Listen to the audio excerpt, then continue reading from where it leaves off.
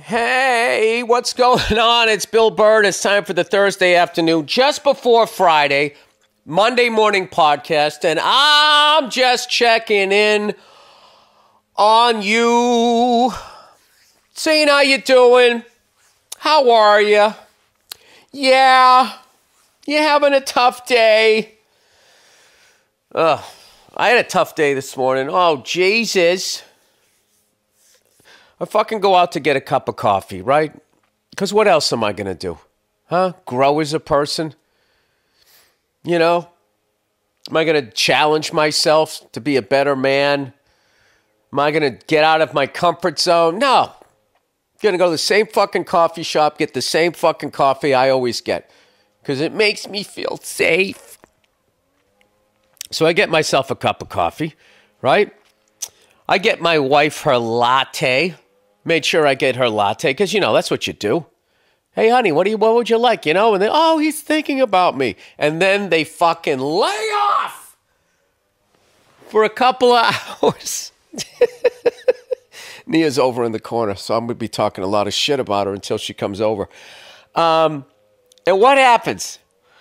Oh, fucking Billy Goodhart. Oh, Willie trying to do the right thing. I fucking come home and then I realize, oh, fuck, I was supposed to bring my car in for service. I forgot to do that. So I get the coffees to go. What the fuck are you doing making a coffee to go? It was a fucking joke. I make it to go. I bring it home.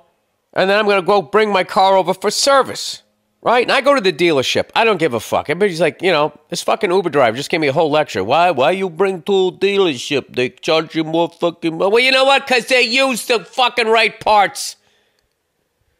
They got the manual in there, and on on how to torque it down or some shit.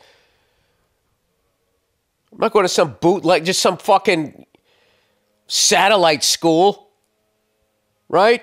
I go to Harvard, Ro- fucking Rhode Island. You know they do that shit like those those adjacent schools.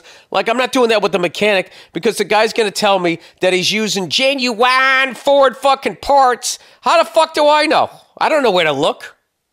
Used all Ford parts? Oh yeah, buddy. Yeah, they're right under the hood. Thank you. You know I'm not doing that. I'm not going to Jiffy Lube. You know those fucking people. All right. Those people live in the sewer. That's why. That's why they don't mind being underneath the car all fucking day, right? They got them standing there. They they come out at night to feed, and then right at the end, before they go to bed, they change the oil and lube your cars. That's what they do. That's how they make their money to buy a little fucking burlap sack to sleep on inside the sewer systems of our great cities here in America.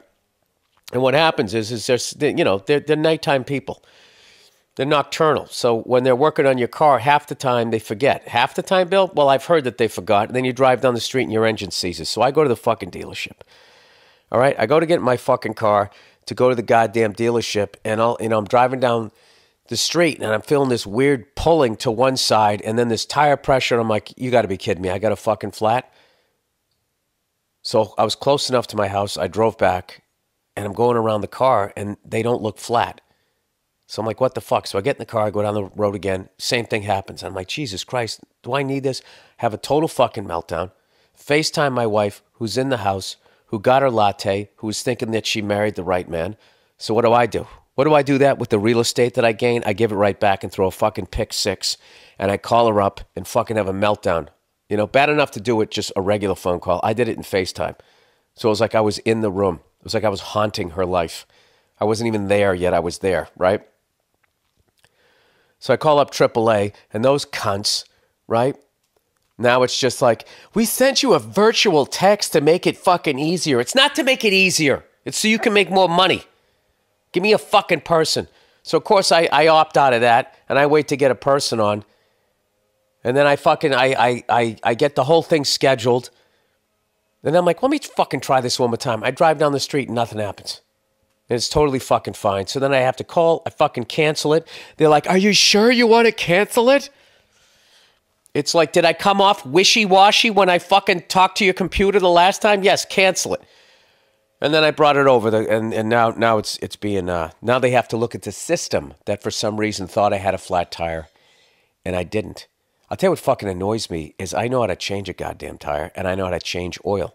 It's just that the jack that they give you, and they have it bolted down, and it's I don't even know what the fuck it is. It's like a a jack adjacent.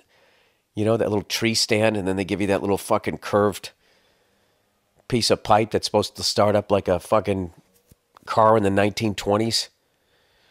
I got to get a real jack. You know what I mean? I used to have that one, you know, back in the day. I have a real jack, and then I had a piece of pipe to give myself leverage back when I had my 83 Ford Ranger. Right?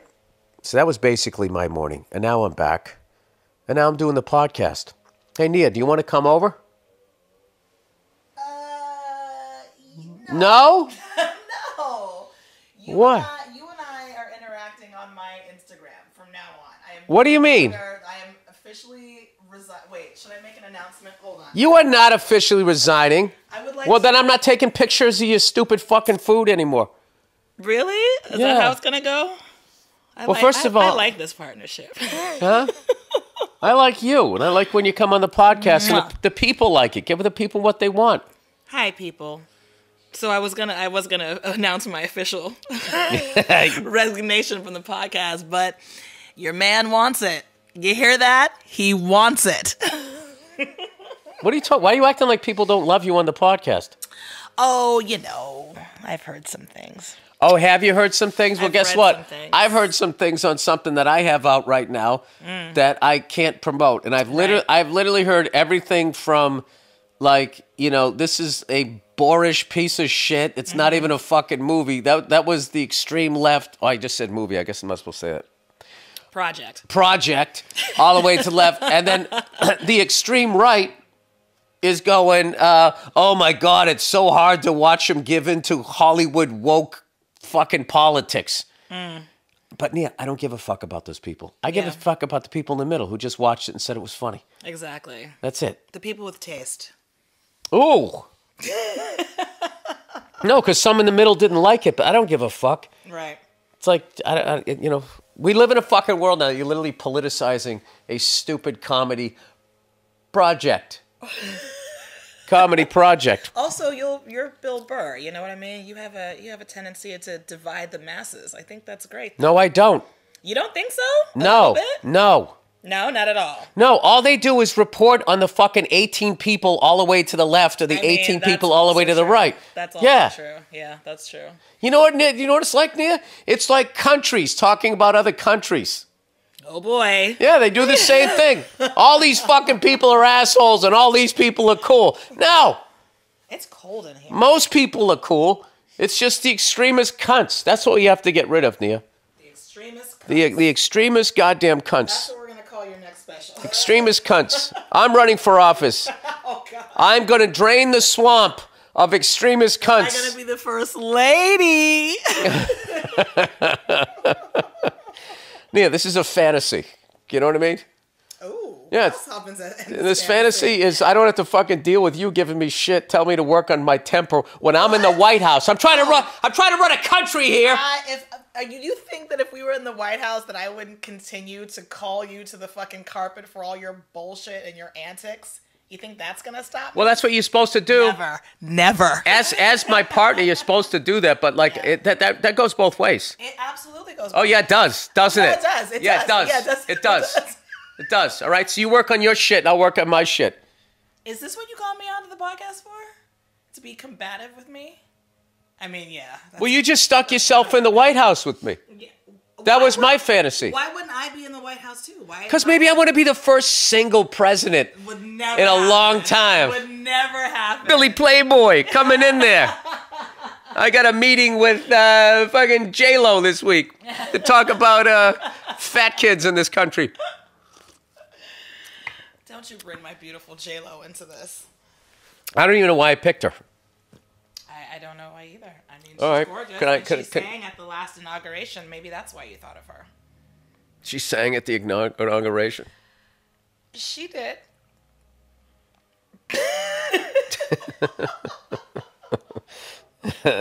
yep. And that's all I'm going to say on. Why would you do that? I don't, I don't like understand. I don't understand. husband, so I'm very, I'm very pro, pro J Lo, That's right. pro J Lo. I get it. And pro Ben. You know what your E ESPN is? It's like celebrity websites. ESPN. Well, like I, you know, I sit there and I like I watch like sports and I get into this stupid shit. Oh, this is one of your like s- like super oversimplistic analogies. By the way, Phil. Oh, I'm sorry, I didn't realize following celebrities was so fucking deep. No, you're not deep because you're the one that's always going like, you know, it's kind of like when you watch The Real Housewives, and it's like, Bill, I know what you're talking about. Like, you don't have to make like some sort of analogy. Like, you like this the way I like sports. It's like, yeah, That's not even what I was saying. Okay. Because I was gonna be like, why the fuck are you following these celebrities' lives in the relationship? And then I was me like, oh, this is just kind of like, why am I? Why do I give a fuck about the Patriots not doing well this year? It's stupid. Right. Why do you? Yeah. Why do you wear a man's name on the back of a jersey? You know. Yeah, I I don't do that. You don't wear jerseys. I don't. wear jer- I'm not dating him. I I just feel like I've seen you wear a hockey jersey like years ago, or so like in an old photo of you, or so, like when you were a kid, you know, or like a teenager or in your twenties. But you definitely, no, you don't wear. No, any I wore a jersey if I was playing pickup hockey. Right. Okay. Oh, that's what it is. That's what it is. When you used to play hockey. Yeah. And I used to go out and I would wear my Jay Miller Bruins jersey, which was hilarious because I couldn't skate and I wasn't tough. So it actually brought shame to that great man's name. um, anyway, you look cute. Thank you. So do you. We had fun last night. We went trick or treating. It was the Oh, first time. cute. First time my son went trick or treating. It's so funny. The, Oh my god. the first time you bring a kid out, they're always super shy Uh-huh. for like two houses, and then they figure it out. Like, wait a minute, I just go up there and say Happy Halloween, and they give me candy. I feel like none of them say trick or treat. I heard a few kids saying Happy Halloween, which of course is totally fine. Yeah. But I don't feel like people say trick or treat anymore. You know what I love? I just love like, like this generation in LA names for kids. You know, I was joking about that. It's like Brooklyn, Brooklyn. You have to wait for stanza. Stands. Oh, hi, soliloquy. it's like those are not names. Are you a princess? Oh my gosh, she's so cute. But the kid, kids, and then there's always those fucking kids that are just way too old to be trick or treating. There was like kids, these teenage kids. They were taller than I was. Their voices had dropped, and they're like trick or treat coming up. there. Remember, like at our old place, I was incensed because these teenage, like they weren't even wearing costumes. Maybe one girl was wearing cat ears, and they just showed up at the door. They don't say Happy Halloween. They don't say trick or treat. They're just like expecting candy. And, I'm And then they have this shitting grin on their I'm face, are like we don't know what they're doing. Yeah. It's like I also you'd have enough money in your pocket to go to the fucking grocery store and get some candy. Get the fuck out of here. Like these are for the kids.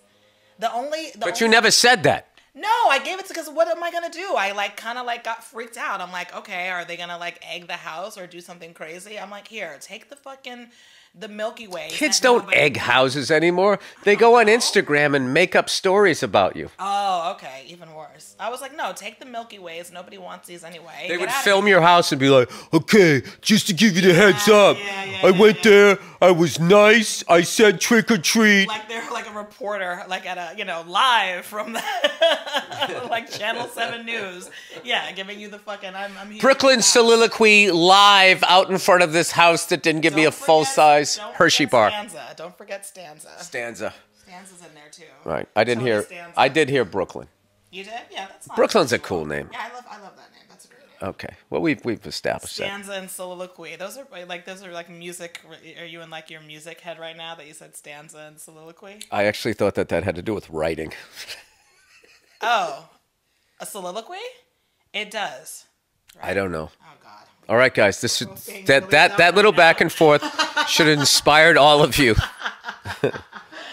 that we actually have jobs and get paid to do things. Wow, that was that was that was even too dumb for me, and I was involved. Um. Anyway, uh, what did I want to talk about here? Yeah. So last night, yeah, my son was like really like shy. I almost had to like carry him up to walk on the first one, and then by like the third house, he would do this. He'd go, "Happy Halloween!" He would like yell it down the thing, and he was dressed like Luigi. He was so friggin' cute. And I found out that he, he's all about. He likes the lollipops. Like he he Yeah. be, he was totally into that. And then also I would be going like, "Buddy, just take one, just take one." And he had his like Luigi gloves that didn't fit. You know what I mean? They're like three sizes too big, and Yeah. he, he would just go in and just just like just grab. You know what what I realized? We're gonna have to before they get home. We're gonna have to hide that candy because he's gonna go in. She knows how to regulate, but he'll be like all over it and he'll start crying. It'll be a whole thing. Oh, we so in other words, she's wired like you, and he's wired like me. yeah, there you Yeah. go. I mean, All right. Well, keep him away from the more- bourbon. in more- in more ways than one. Yes, for sure. Faux show. All right. Well, listen. Speaking of faux show, um, I have a bunch of dates coming up this uh, this Saturday night. myself in Club Soda Kenny. This Saturday night. s- Saturday. Saturday in the park. Think it was the Fourth of July. People walking, people talking, a man selling ice cream. Something, something. Chicago, man. Formerly Chicago Transit Authority. And uh, themselves after the the subway. that was like a thing, Manhattan Transfer. It was just like, Oh my god, my dad used to listen to them. I love the Manhattan Transfer. They're so corny but so good. Those harmonies? what was it? Do the hustle. Bam, bam, bam, ba, they the ones who sang that? No, they sang I don't know what they sang. Does Andrew put music at the end of the Thursday one? Yes. Andrew, can you find some Manhattan Transfer to play at the end of this? to transfer from this episode Yeah, yeah, to an older one. I like that. Um, this Saturday night, I'm going to be at the bot, the TD Bank North Boston Garden, home of your 8 0 and 1 Boston Bruins. Won an OT the other night. Sniper. Um, uh, doing the Comics Come Home. I think the 37th home. Comics Come Home. Come home, you D- guys. don't be like that. Come home. It's gonna be okay. We can talk about this. We can work it out. You've been away long enough. come home. Come home. Um, that's gonna be. Uh, Who else is gonna be on the card that night? oh God, Rachel Feinstein, Marc Maron. Who else? I've only posted it nine million times. Bobby Kelly. Bobby. Bobby! Um, Is Rachel from Boston? no, I think she's from New York. Oh, okay. I don't know. I just I met her in New York. home. She's She's not coming home. She's leaving home. she's leaving home. Well, initially it was mainly Boston comedians. They come home. All right, and now it's just anybody. Right. Anybody, come on over. Come on over. Yeah, it sounds. It sounds good. it does. It does. It sounds very inviting. Uh, then I'm at Foxwoods the next night. Two shows. I haven't been to Foxwoods in ages. That was always a fun time. You used to go to Foxwoods? I went to Foxwoods with my mother, my mother, to see Joe, the R and B singer, and my mom had Oh, two. is that the guy? If you're cheating on me, I don't want to know. That guy? Uh, he's the one saying, "I wanna know, I wanna know." know what turns you on. So my mom had two margaritas and it was Women love that song. complete disaster, and it was so funny. It was so much fun. Oh, your mom got trashed? She did. I mean, it doesn't take much. She's like, you know, a really lightweight. But we went with my my aunt who passed away sadly um, a couple years ago, and it was it was probably one of my favorite memories of all of us together. So I haven't been to Foxwoods probably since then, and that was ages. She ago. got your mother hammered. Since I got her hammered on margaritas. and we hit the slots machine, the slots after that. The only time I ever went to Foxwoods when I wasn't working is I went with a degenerate gambler comedian. You just that you've talked about this before, right? Like you can't just say gambler; you have to say degenerate. Gambler. Degenerate. Because he didn't go there to gamble. This guy was a degenerate. yeah, he went there to what? Stay up the whole friggin' night yeah. playing cards. And like I was opening for him, so I went with him and we stayed up until four or five in the friggin' morning. And I was just sitting there. I remember him just laughing at me, nodding off as I was as I was as he was driving home. And you were just trying to hang. I thought I needed to do that. I was like, well, this guy's headlining. I got to do. I should have been like, dude, I'm not fucking doing that. Yeah, I was gonna say there's no way in hell you would ever do that today. No, well, You're like a do the show and go home guy. That's that's it. yeah, but back then I was uh, I was I was a people pleaser. Oh yeah, you were hanging. You were hanging. I was hanging. You Let me out- sit you a little closer to you. I was out in these streets Nia, just pleasing everybody, but except for myself. Um, Where'd you get one of those little microphones to put on your phone. I went to the Cool. microphone store. I like it. It's called uh, Mikey's Mics, right down the street. Mikey Michelson's mics. That's right, Mikey Michelson. If you need a microphone, if, you, if your voice isn't loud enough, I can amplify it. Come on down to Mikey's Mics. I mean, your voice is definitely loud enough. All right. How did that feel? It felt good. It felt good? Shut up. You love me, and I've been a sweetheart to you. Yeah, all right. Come on. Come on. you. You're the best. That's right. That's right. There you go. See, I got to squeeze the compliment out, but eventually it comes. Okay, so after that, I have a day off. Then I go to Norfolk, Virginia. They're coming off a big victory f- um, over the Miami Hurricanes. I don't need to tell you that, Nia. Who was? University of Virginia? Oh, I was gonna say they have a sports like a professional sports team. This is college. Yes, college. Okay. Look at you knowing that they don't have. I mean, I think I would think that they were probably DC fans. I mean, I know a few things. I I know, mean, I know a few things. I know like the Dakotas don't have any fucking sports team, right? professional. Yeah, no, they don't. But they crush it in hockey. They do. They crush it. In, yeah, they they do. They do, and they win like the NCAA. It's always like them, Maine. And there's somebody else that's oh, BU gets in there too. Um, yeah, I don't know. All right, so then after that, I go to Atlanta, Nia's old stomping grounds, and then I go to Hollywood, Florida, because I'm a big phony. Right? Even when I go to Florida, I'm still Hollywood. You know what I mean? Do I go to Daytona, where all the real fucking people are? Last time I went to Daytona, I went to the 500 with Nate Bargatze. Shout out to him, crushing it on SNL. Oh, great. Yeah, killed it on SNL. I always like uh, love seeing comics that I'm huge fans of being on the show, and my favorite thing is like in the end saying goodnight is like I can't even tell you what a, like a relief that is. It's just so much f- friggin' pressure, and you just so like oh my god I did it, and they start playing that song and that clap clap clap clap as you're coming up, and you're like holy shit. Oh yeah, where they're playing the piano. Yeah, Oh my god, it's and just then the saxophone comes in. yeah, and you're like, oh my, god, it was fun. That's I did it. Need It- to go. You need to go viral again for another, you know, hot monologue. Ooh, what's he gonna say this time? that Billy Burr, he's so unpredictable. He's mean. He says it like it is. He's married. I don't like that anymore. Go fucking cry in your bowl of soup by yourself, you fucking losers. Sorry. All right. Yeah, I know. By the way, all of these, yeah, these, I don't know. Yeah, you got to stop reading comments. I know. It's I never going to be good. I know. It's never. It's you just got to do whatever the overall is. Yeah. If overall it's positive, it's I'm fine. working on. it. I know, and it, Yeah, it is. These It's people that say overall so negative shit, it has nothing to do with you. It has to do with the fact that their, their life isn't going the way they want it. It's sad. I'm gonna get better at It's it. It's sad, you know.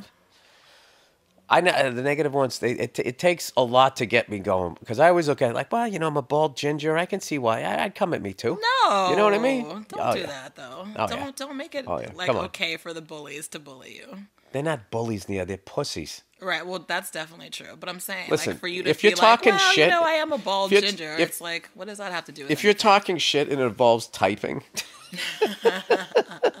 let's not act like we're going to a weigh-in and you're getting in somebody's grill. You're sitting there with a little keyboard. You know what else? You you know, uh, they're just using their little thummy thumbs. Their little thummy thumbs. on their on their. Phone. Oh yeah, they got little. They have little boxing gloves on them too. When they said mean tweets, um, just so you know that they're telling it like it is. Um, so Nia, there's an election coming up next year. I can't tell you how fucking upset I am by that. Why? Cause I, eh, oh my god, the fucking dragging it out. The du- dumpster fire that we'll have to deal with in Well- the news cycle. Oh Jesus, can you imagine Joe Biden in a debate? How's he even going to do it? I hope he pulls it together. I, I, I just, I'm just hope I want somebody in their 40s that can like make a speech because because the bottom line is they're still going to work for the same people. They're still going to be selling wars. Mm-hmm, You know, they're still going to back the banks and the Ponzi scheme. It doesn't really fucking matter. But it would be nice to have a good hostess. You know. Welcome to Applebee's. I'll be speaking for you for the next four years. Someone that still has a light in their eye. Sure, sure. I mean, the last two people, Nia. I mean, gee, it's just like it's like a talent contest. You know, it's like karaoke. I feel like the last two presidents have been like like presidential karaoke. would you ever do karaoke? And if you did, what song would you sing? Uh, I would do karaoke, and I would sing "Let Me Put My Love Into You, Babe" by ACDC. I knew it was going to be an ACDC song. Is that Yeah. a real name of it? Let me put my love It's a great you? driving song, and if you Oh, don't listen to the lyrics, you don't notice that it's a little, uh, little aggressive. I, I, let me put my love into you? I think so. Well, that's all right. He just wants to fuck you. I mean, there's nothing wrong with saying you want to put your love into somebody. I don't ever say that to Hey, me. Hey, Nia, guess what I want to do later on today? Please don't. I don't want you. I don't want it. Please keep it. Why are you afraid of love? Oh, God. See that? You have intimacy issues, and you're putting. Creepy. Hey, sweetheart, let me put my love into you, babe. You know what? I'm actually really hungry. Are Let we- me put my love on the line. Are we almost done with this podcast? Well, I'm sorry. Are we keeping you for I your wa- busy day? Just I want to order some food. I want to hang out with you. Is what I want to do, but I got fucking work to do. Well, you had that. Yeah, you had that opportunity to do so, and I told you what you needed to do to do that, and you didn't want to do it. So, Yeah, because I have work to do. Because you married a fucking beast. oh boy, here. Here it is. I can't talk a little shit. Yeah, you can talk. I had a good- No, we had a good it. couple of weeks. No, you, All right. Uh, definitely earn it. No promo on any sort of projects, No. Hey, and yet listen. Guess who knew about it? Guess who knew about that project? Who? Oh, Zip Recruiter. Recruiter. Yeah. You know, it takes a team of people to make this show successful, does it? I was gonna say, what team? it's just me and you and Andrew. your underwear. It's generic copy. Just go with it. okay. Uh, just like it takes a solid team to make any business successful. Um, so if you're hiring, how do you find the best people for your team? Zip Recruiter. And right now, you can try old Zip Recruiter doc, uh, for free. I, I read that wrong. And right now, you can try it for free at Zip. Stroke. I'm starting it up.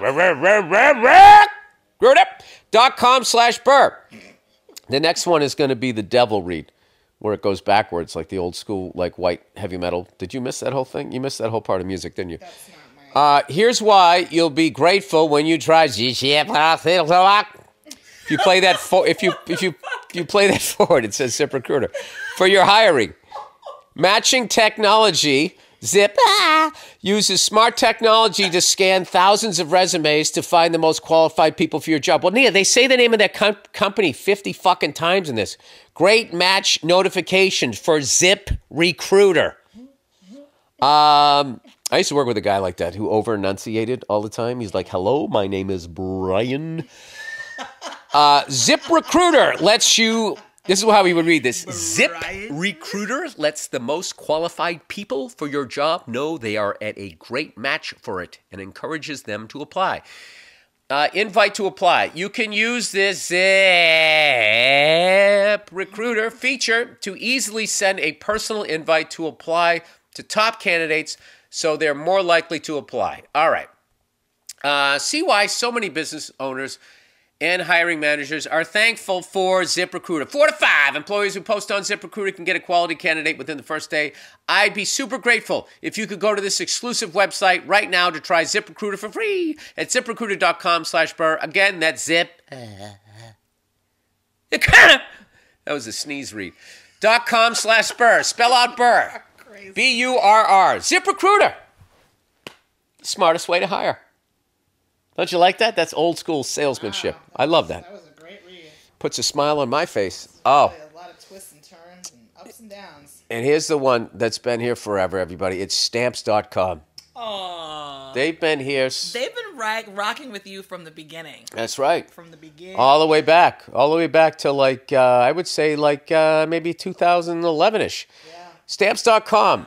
Hey, Nia, did you forget to add stamps.com to your holiday wish list last year? Damn it. I'm telling you, wait, we all make mistakes. That's in What the do I do about it? Well, stamps.com has been helping businesses like yours. You have a business? Like yours, save time and money. You in line. Not possible. And money during the holiday rush for 25 years with easy access to USPS and UPS services and premium rates for all your postage needs. The holidays are hard enough, Nia. Uh, make sure, make things easier than ever with stamps.com. If you need a package pickup, you can easily schedule it through your stamps.com dashboard. And if you sell products online, stamps.com seamlessly no panty lines here, Nia. Seamlessly connects with every major marketplace Oh and shopping cart. silly. Premium discounts and supplies at your fingertips. Running low? Order shipping and mailing supplies, labels, and even printers from the supply store. Get huge career carrier discounts up to 84% off USPS and UPS rates to help your bottom line. Plus stamps.com automatically tells your cheapest tells you your cheapest and fastest shipping options.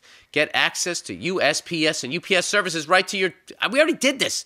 Sign up with the promo code BURR for a special offer that includes a 4-week trial plus free postage and a digital scale, no long-term contracts, commitments um, commitments or contracts. Sorry. Just go to stamps.com, click on the microphone at the top of the homepage, and enter code BURR, B U R R. And that is it, everybody. That is a Thursday afternoon, just before Friday, Monday morning podcast. I hope you're watching the World Series or the World Series, as Bugs Bunny used to say. All three games have been fantastic. There's a lot of drama. You know, the Rangers came back, and that guy that hit the walk-off home run, I'm not good with the names. He ended up, I don't know if it was an oblique.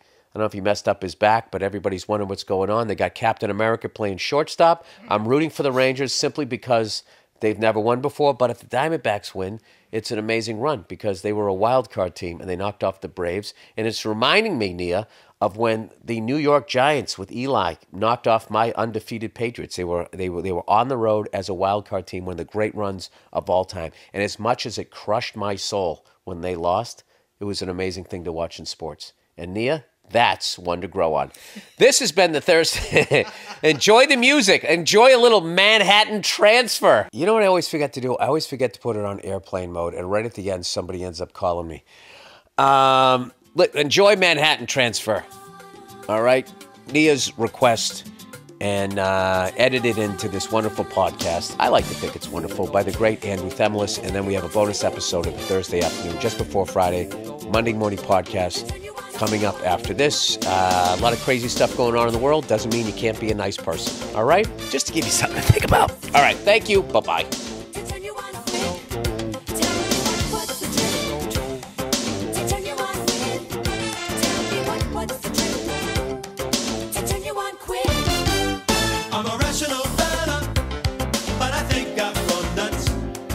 Hey, what's going on? It's Bill Burr, and it's time for the Monday morning podcast for Monday, Monday, November 2nd, 2015. Oh my God, it's November. You know, the greatest holiday of the year for me is what? Thanksgiving? I like it. It's family. You get to eat. What about Flag Day? That's a good one, isn't it? Why don't you go underground? Support that indie band, right? You could do that. Labor Day's another good one. Uh, Blueberry Pancake Day or whatever the fuck it was that time when I was in Atlanta. Ever tell you guys that story? I went in to do morning TV, the worst fucking thing a comedian can ever do. It doesn't sell one fucking ticket. You know who watches morning TV? Fucking uh, stay at home moms. You know? You know those in, in the in the those awful stay at home moms. A cool stay at home mom probably pops in a good movie or some shit like that. But those you know those ones that talk to kids like they're fucking morons. And they do it like, you know, it's bad enough when the kid's really little, but when they're like six years old and they're still going like, oh, how was your day today? They do that fucking up and down talking with like their eyes really fucking open, eyebrows way up. You just want to fucking slap him in the back of the head. Like, what are you doing? And do me a favor, don't talk to my dog like that because you're going to freak her out and she's going to go for your throat. All she's going to hear is heightened excitement and she's going to be thinking someone's going to beat the shit out of her again, like whoever, whoever the fuck did it to her before I got her. Isn't that right, Cleo? Huh? She's over there already sleeping. This fucking dog slept for eight goddamn hours last night, right? Right next to me, by the way. I hadn't, I hadn't seen her in like two weeks. So I was watching the KC Met game and I actually fell asleep before the end of it. I was so fucking tired. And then, of course, I wake up afterwards and I see KC celebrating. By the way, congratulations to Kansas City. My condolences to Mets fans. Uh, just two fucking great teams. And it was so great to see, you know, not to see Yankees, Red Sox, Cardinals, Giants, the fucking people who were, have been in it. It's nice to see new blood. Um, so, anyways, I'm sitting there and I'm trying to fucking see the highlight, and I'm just sitting there, and my dog, like this, my dog is a master, like cuddler. The thing is all the way like legs tucked underneath, and it's fucking got its its head right on my chest, right, with its muzzle almost like, just like staring at me, and it's snoring. So I don't want to wake the thing up. And I'm sitting there, and the remote's on the other side of my fucking dog. And I'm like, I, I can't wake this thing up. And I'm sitting there waiting for a fucking highlight. And they got this guy who's just standing there going on and on and on and on and on and on and on about the fucking game. About what happened and blah, blah, blah. It's like, show a fucking highlight, you jerk off. What are you, the president? You giving some fucking State of the Union thing? So many of fucking ESPN shows now are just two fucking people sitting there, standing there, walking around, talking, talking, talking. That fucking channel, I want to see highlights. Show them all fucking day long. I will sit. I used to watch Sports Center back when I had the time. I'd watch it like three times in a fucking row. I didn't give a shit. Same jokes, same fucking clips, all of that. I loved it. These fucking idiots sitting there talking and talking and talking. I would. I should talk, right? I do a fucking podcast by myself. Um, so then I turn the fucking channel. I'm like, all right, they got like 52 ESPNs. I go up to ESPN 2. There's two other jerk offs sitting there talking, talking, talking, talking, talking, and they're showing the scores and all of this type of shit. And for the life of me, I haven't seen it. I heard what happened.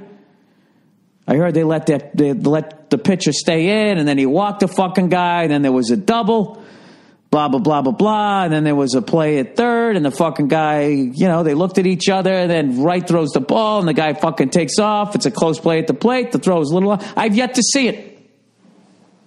I just want to see a highlight. um. So anyway, so I don't really know. Uh, I don't know what happened. All of that that I know is because actually not because of ESPN. It's because I talked to Paul Verzi this morning, um, who, by the way, is really excited that the Mets lost.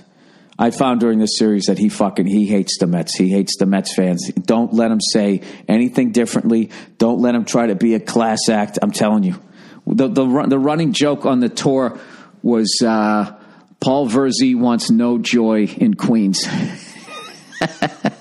Because we were all sitting there like, I'm a fucking, you know, Red Sox fan. I shouldn't like any team from New York. But I don't give a fuck, right? It's the Mets. You know, they haven't won it since 86. Fuck it. I don't care if they win it. Um, so I want, I wanted to see, I basically, I wanted to see a seven game series is what I wanted to see. And, uh, but Verzi was very silently rooting very hard against the Mets. And he wouldn't admit it. And he just no no no no I, I don't I don't care. You know I, I just want I just want to see a good series. And he he get he would get just a little too excited when KC would be coming back. So um, anyways I'm just sitting here fucking babbling. Uh, I did miss Halloween this year um, it's the first time I have not been at my house during Halloween um, which I'm actually happy about because I told you where I live I live in this weird area where it's like if you go a little if you go to the right it gets really nice. If you go to the left, there's like a check cashing place like a block away. You know what I mean? And I'm sort of in the middle. So during Halloween, I get everything from little snot nosed rich kids to like what I had like a year ago with this fucking like, I don't know, 37 year old dude showed up. He looked like a fucking homeless Jim Croce. He just fucking showed up, right? Big fucking mustache, Tom Selleck style. And he was just standing there and I've just opened the door. Oh, I know, no. He had some kids with him and they all left. And he had a bag too. And he held the bag out. And I just went, Really? And he just goes, Yes. I go, Really? Or something like that. Seriously? He just goes, Yes. And I just fucking gave What was I going to do? I was joking in Chicago. It's like, I got to give it to him. He knows where the fuck I live, right? That's the thing. You can't fuck people over on Halloween. They know where you live. They, they're going to do something. They're going to walk down your fucking thing. They're going to fucking punch your mailbox or pull the little flag off of it. You know? Yank some fucking, I don't know, plant out of the ground. Which I don't give a shit, right? If it's not fucking making me any food, what do I need it for? Well, because they exhale oxygen. Shut up! We get it. So, anyways, um, dude, I, I'm completely shot from that tour. I am so fucking exhausted. Um, and it isn't from the shows. The shows were great. The people were great. The venues were great. but um, I fucking drank every single night for fucking two weeks, and um, every night I was like, "Yeah, I can't do it. I can't do it," and that was the joke. The joke started to become before every show. We would just be going like, "All right, man, tonight we're just going home. Going home early. We're just fucking getting eight hours workout, right? Maybe find a spa. We'll take a steam, have a nice fucking healthy breakfast. Everybody's nodding, yeah, yeah, yeah. And then fucking uh, somebody finishes their set and they just got the devil in their eye when they come off. And then they would look at me and I would just start laughing. And the next thing you know, we go out again.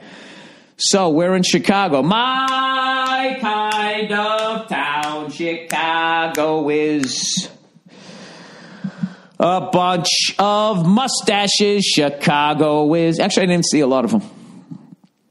Michigan Avenue with all those shops. 20 Harry Caray restaurants. Which one's the original? Um, so, anyways, we ended up going out one night.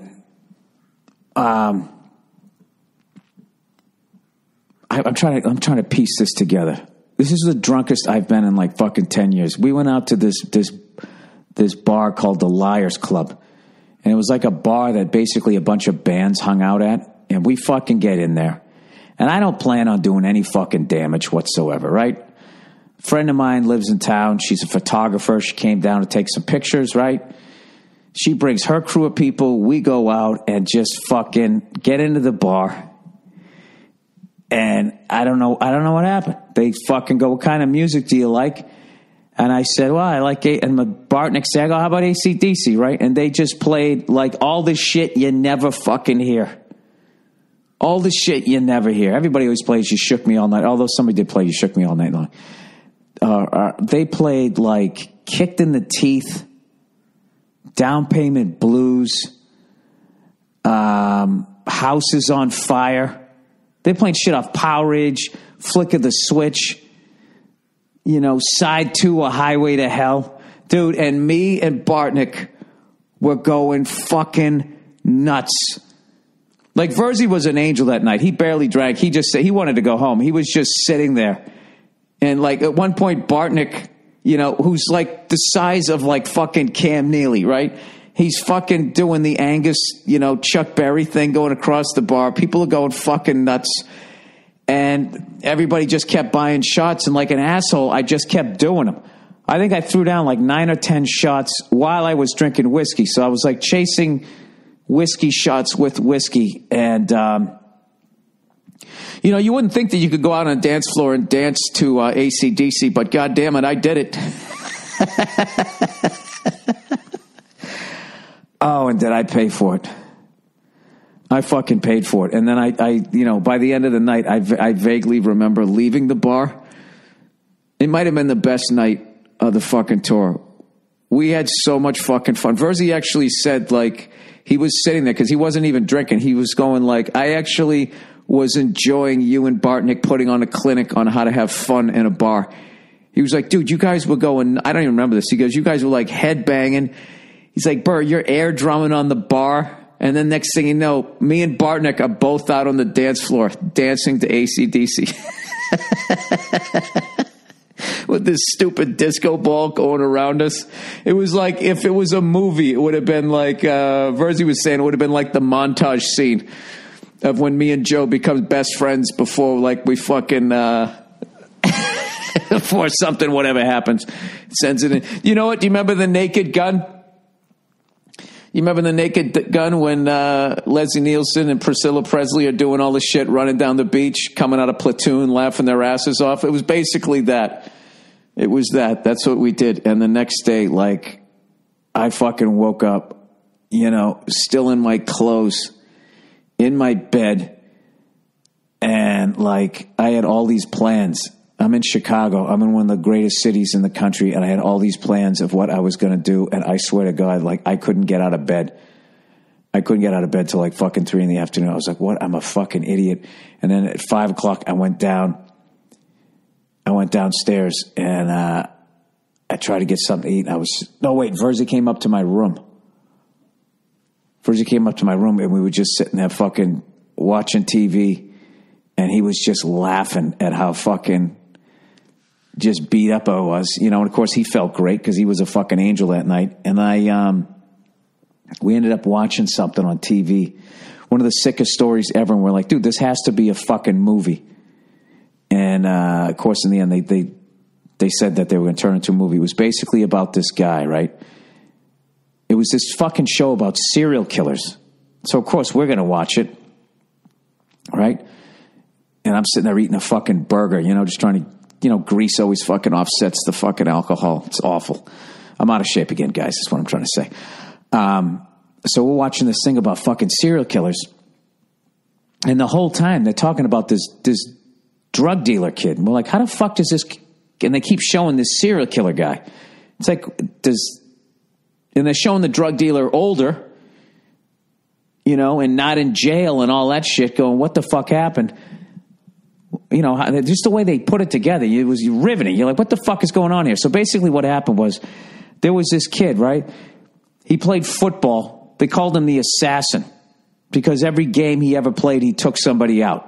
Right? Was it the assassin? Was that Jack Tatum? Jack Tatum. Now I forget. What it was something like assassin.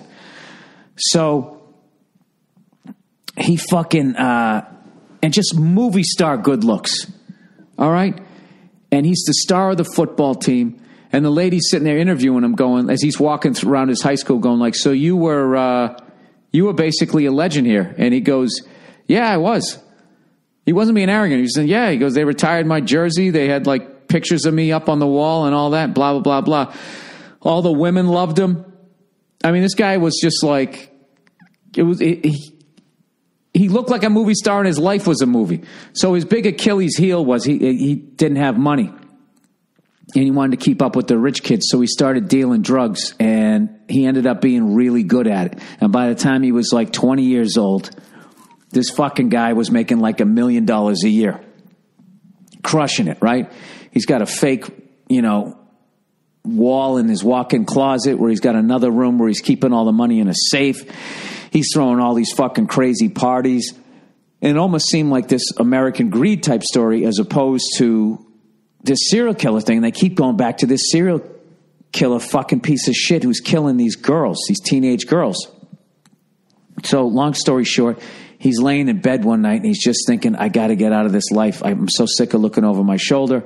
I can't do this anymore. How am I going to get out of this? But he's addicted to the money. He's addicted to the life and all of that type of stuff. And he hears just rattling on the door. And I'm thinking, oh, fuck, it's the serial killer. And he obviously fought the guy and won. What the fuck happens, right? All of a sudden, the door fucking blasts open. And all these fucking, was it, is it the ATF that shows up when you get busted as a drug dealer? Was that alcohol, tobacco, firearm? I don't know what the fuck it is. So, anyways, they fucking come FDA, Food Drug Administration, the uh, Transit Chicago Transit Authority. I don't know what the fuck it is. Whatever the fuck that thing is, they come fucking blasting through the door. Run up, you know, a bunch of guys with the fucking miner helmets on, with the fucking Uzis from a Steven Seagal movie. Going, get on the ground. If you fucking look at me, I'll blow your fucking head off. And the whole thing was over. And he disgraced his family name. And they never said it, but I imagine they probably took his fucking pictures down off of the high school and all of that type of shit. You know, did some OJ shit, right? Take all his trophies and all that fucking shit. So it's over, right? So then he's sitting in jail. Um, and they try to get him to flip. And this is it's just some fucking kid from the suburbs, right? So I'm thinking, well, he's out. He must have ratted somebody out. So he doesn't rat anybody out. He's like, I'm not telling on anybody. So then they're like, all right, well, fuck you. So now we're, you're not going to help us out. We're going to fucking give you, you know, the full extent of the law. We're going to uh, prosecute you. So they gave him 10 years. The guy gets 10 years. He's in like a minimum security because, you know, he didn't really uh, have any violent past or anything. He was just getting people addicted to drugs. That's all he was doing. so his dad is devastated and all that shit. And he, he goes to jail. And uh, meanwhile, this serial killer guy's out there killing these girls. So I'm thinking, what the fuck? And they keep going to commercial. Me and Verzi are looking at each other going, how the fuck are they going to tie this fucking thing together? So, long story short, um, they ended up catching the serial killer guy. Uh, I forget how he fucked up, but they ended up catching him in one of those things where you seem re- like relieved and all of that type of shit. And uh, but he had this thing where he wouldn't admit to all of them, and if you came at him, he would just clam up and wouldn't say shit. So he ends up going to jail for like either one or two murders for life. He's never fucking getting out. So meanwhile, there's all these parents whose daughters were killed by this guy and they don't know where they are and all they just want is the body. They want fucking closure. And these parents are just tortured by this fucking thing. All right. So they're trying to figure out because he won't talk to them. He won't tell them anything. And he's also in denial and he keeps going like, actually, I didn't kill him and blah, blah, blah, blah, blah. And then one day be like, oh, I did. And I blacked out. I don't remember. Like the guy was just a fucking creepy goddamn mess. Right. So they end up coming up with this idea that they need a charismatic person to talk to this, to befriend this serial killer, gain the guy's trust, and maybe he'll tell him where like the bodies are and that type of shit. So they go to this fucking dude, Captain America, you know, the football player, the movie star looking guy who fucked his whole life up because he got involved in drugs, right? And they approach him to go from his minimum security to go into a maximum security prison with his murderers, rapists, animals, fucking maniacs, right? And um, you know, to go in there, and they said if you if you get this information out, we'll take your sentence and we'll just wipe out the rest of it. We'll set you free. He'd already done like three, four years. So meanwhile, Captain America's dad had a series of strokes, you know, and was basically going to die and he had to go see him. I mean, it's like a fucking movie. So he goes, "All right, fuck it, I'll I'll do it." But I want it in writing that you're definitely going to let me go. So they say, "Yeah." So they go, "All right." He goes, "Here." They go, "Here's the deal. we don't want you to approach him for at least six months." Because he's very cagey, and if you fucking, you know, come at the guy the wrong way, he just fucking walls himself off, and that's it. All right? So this kid comes, he goes in, he goes, fine, cool. And he walks in there. He's like, I don't have six months. My dad's going to die. Within the first two months, two, I'm sorry, first two hours, he goes into the fucking jail and he fucking, uh, on purpose, accidentally bumps into the guy. And then he immediately apologizes. He goes, Oh, I'm sorry about that, buddy. I didn't see you standing there. Hey, he goes, I'm new here. Do you know where the library is? And the guy tells him where the library is, and he goes, Thanks, man. Uh, you know, and he said something to the effect of, uh, "Yeah, you're a good guy." gives him a little slap on the shoulder. That's it. And goes to the fucking library, and they set it up where his fucking his cell was right across the hall from the other guy. And he says to him, he goes, "Hey man," he, he runs into him again. "Hey, where you staying?" Blah blah. He goes, "Oh, that's crazy, man. You him right across." And he says, "Oh, it's good to be with a good guy like you." Blah. blah. Right across from each other, and he goes, uh, "So then, fucking the serial killer guy." one day goes, Hey, you want to get lunch with me and my friends? And at this point, me and Verzi were fucking laughing our balls off, going like, this kind of social shit happens in prison. Like, hey, uh, some friends of mine, uh, gonna have some other uh, murderers and serial killers.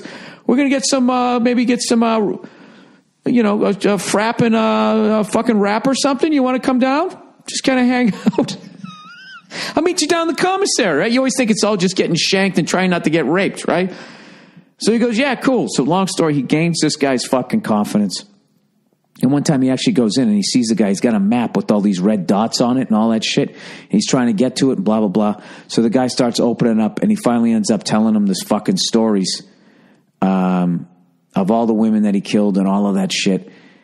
And, uh, and sort of kind of mentioned, he gave him like sort of enough information about where the bodies were and the Captain America guy kind of fucked up because once he got the information, he thought he had enough information to find all the bodies and get himself out of prison, and he just couldn't. Oh, wait, I forgot the best part. I'm sorry. This is going to be like a Tarantino movie. Now we're going to jump backwards. Another way he gained the guy's confidence was one day they were sitting in the TV room watching TV. He's sitting next to this guy, and this big fucking giant dude just gets up and turns the channel without talking to anybody. And as he turns the channel, the serial killer, who was like a meek little guy, and he just kind of went, he just sort of said out loud to nobody, he was like, Hey, I was watching that. Like powerlessly, really fucking weird psycho thing. And the fucking Captain America dude walked up to the big dude and knocked him out.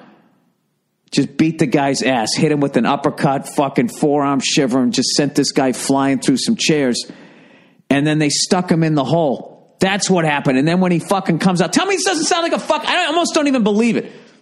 So that's when he gained the guy's confidence. That's when the dude told him. And the second he tells him, this dude, Captain America, couldn't hold it in anymore. And he goes, dude, you know what? You're a sick fucking piece of shit, blah, blah, blah, and flipped out on him.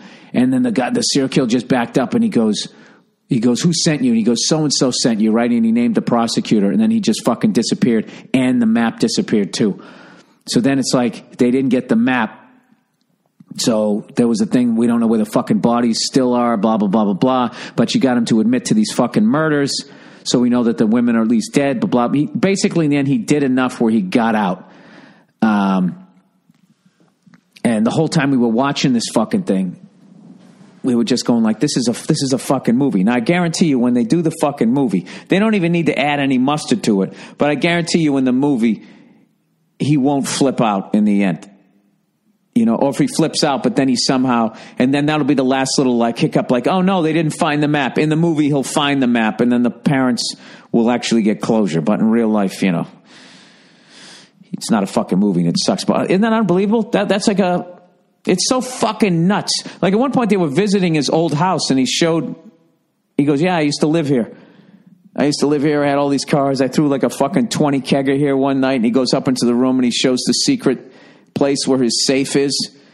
Um and, and you know, those Fort Knox fucking things. It's just I don't know, man. It was fucking uh an incredible story, whatever whatever. I know half of them fucking glorifying goddamn drug dealer, right? Isn't that what I'm doing? Um, and in the end, I know you guys wanted a happy ending. There wasn't a happy ending because he fucking he kind of screwed it up in the end. But they still let him go though, which is sort of odd, right?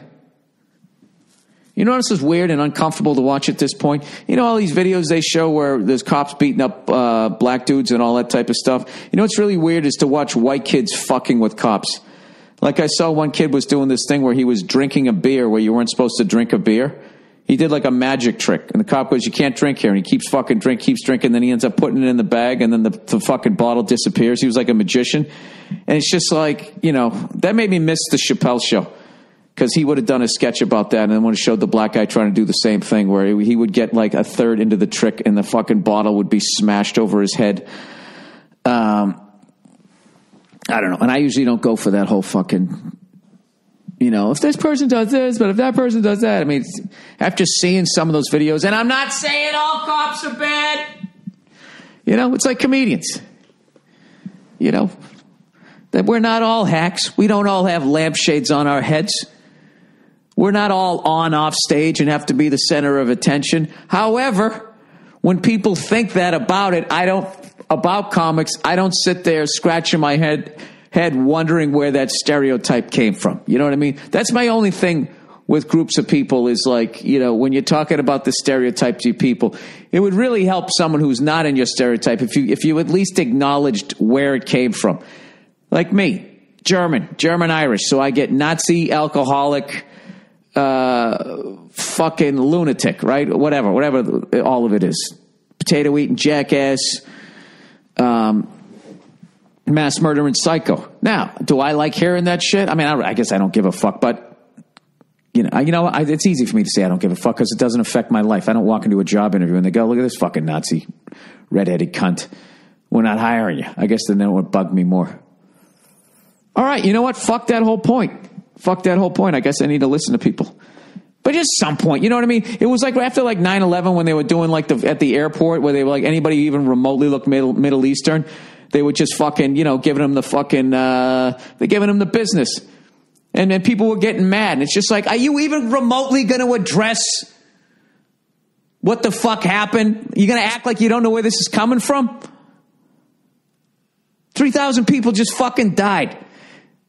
That was a joke I was doing in my act. I was like, you know what? If fucking 18 redheads flew two fucking built, uh, planes into the World Trade Center and knocked them down, and I went to the airport, yeah, I wouldn't like getting frisked every time, but I wouldn't be sitting there going like, oh, where is this coming from?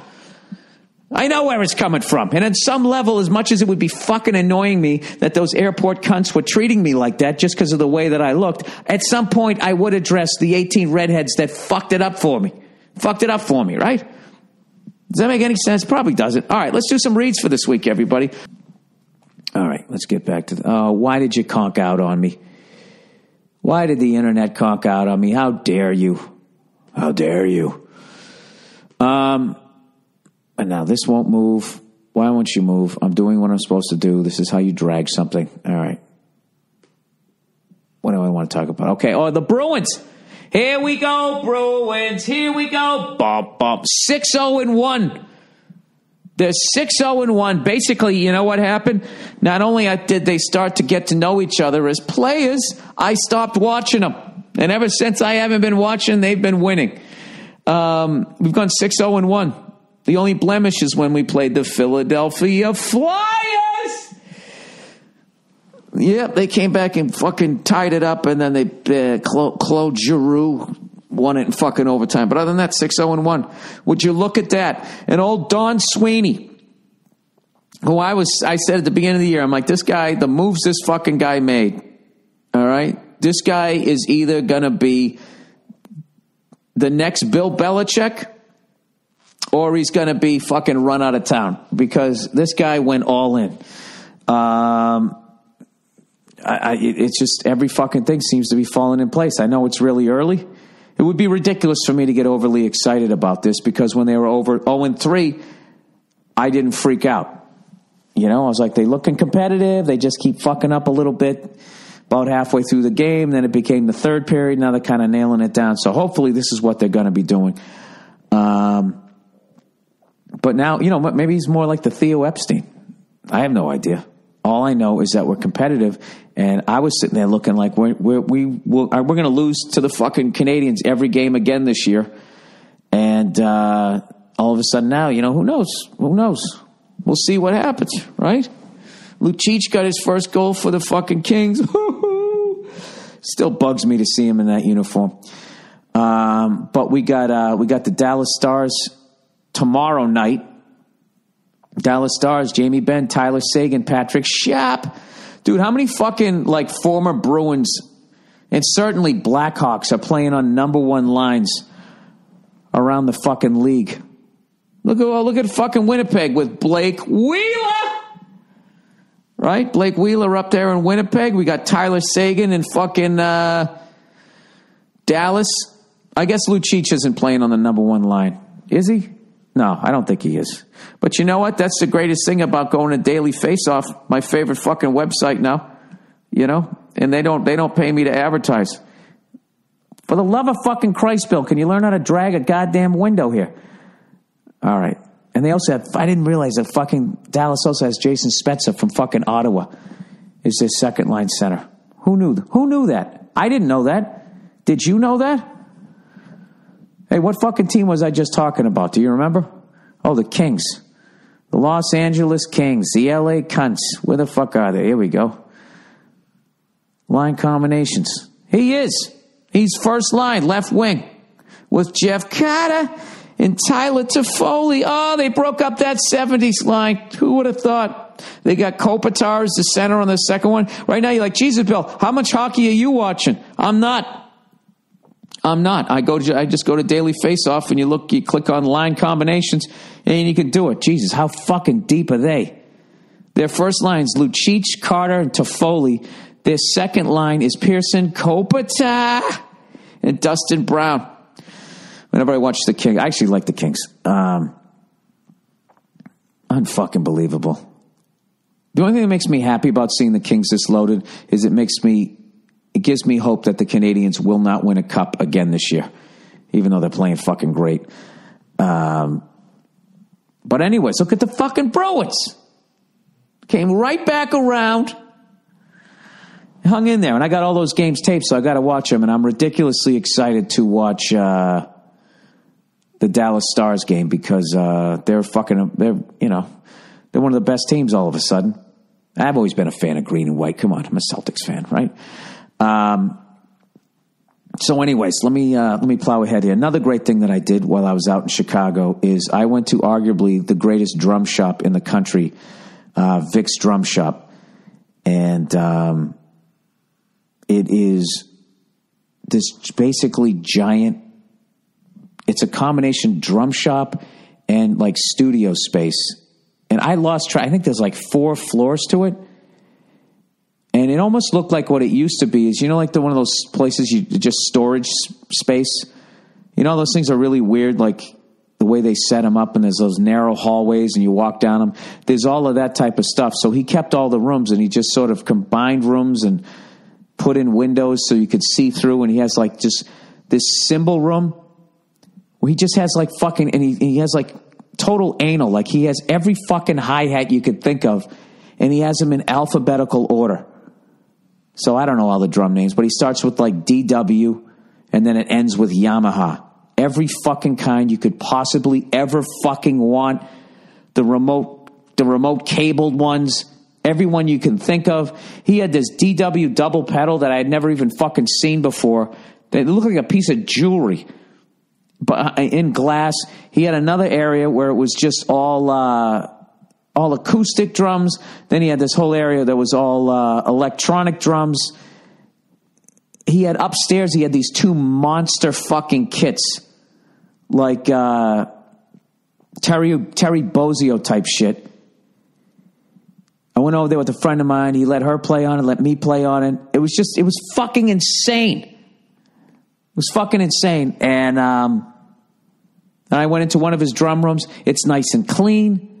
The drums were all tuned up. They sounded fucking great. And what killed me is I could have been going down there every fucking day playing drums when I was in Chicago instead of being laid up fucking hammered. I was I got so drunk at the Liars Club. And if you think I'm not going back there again and doing nine shots and dancing to ACDC, it's over. Like I'll tell you right now, Vic's Drum Shop at fucking the Liars Club, I'm, I'm hitting those every time I go to town. Um, although next time I'm going to bring the lovely Nia.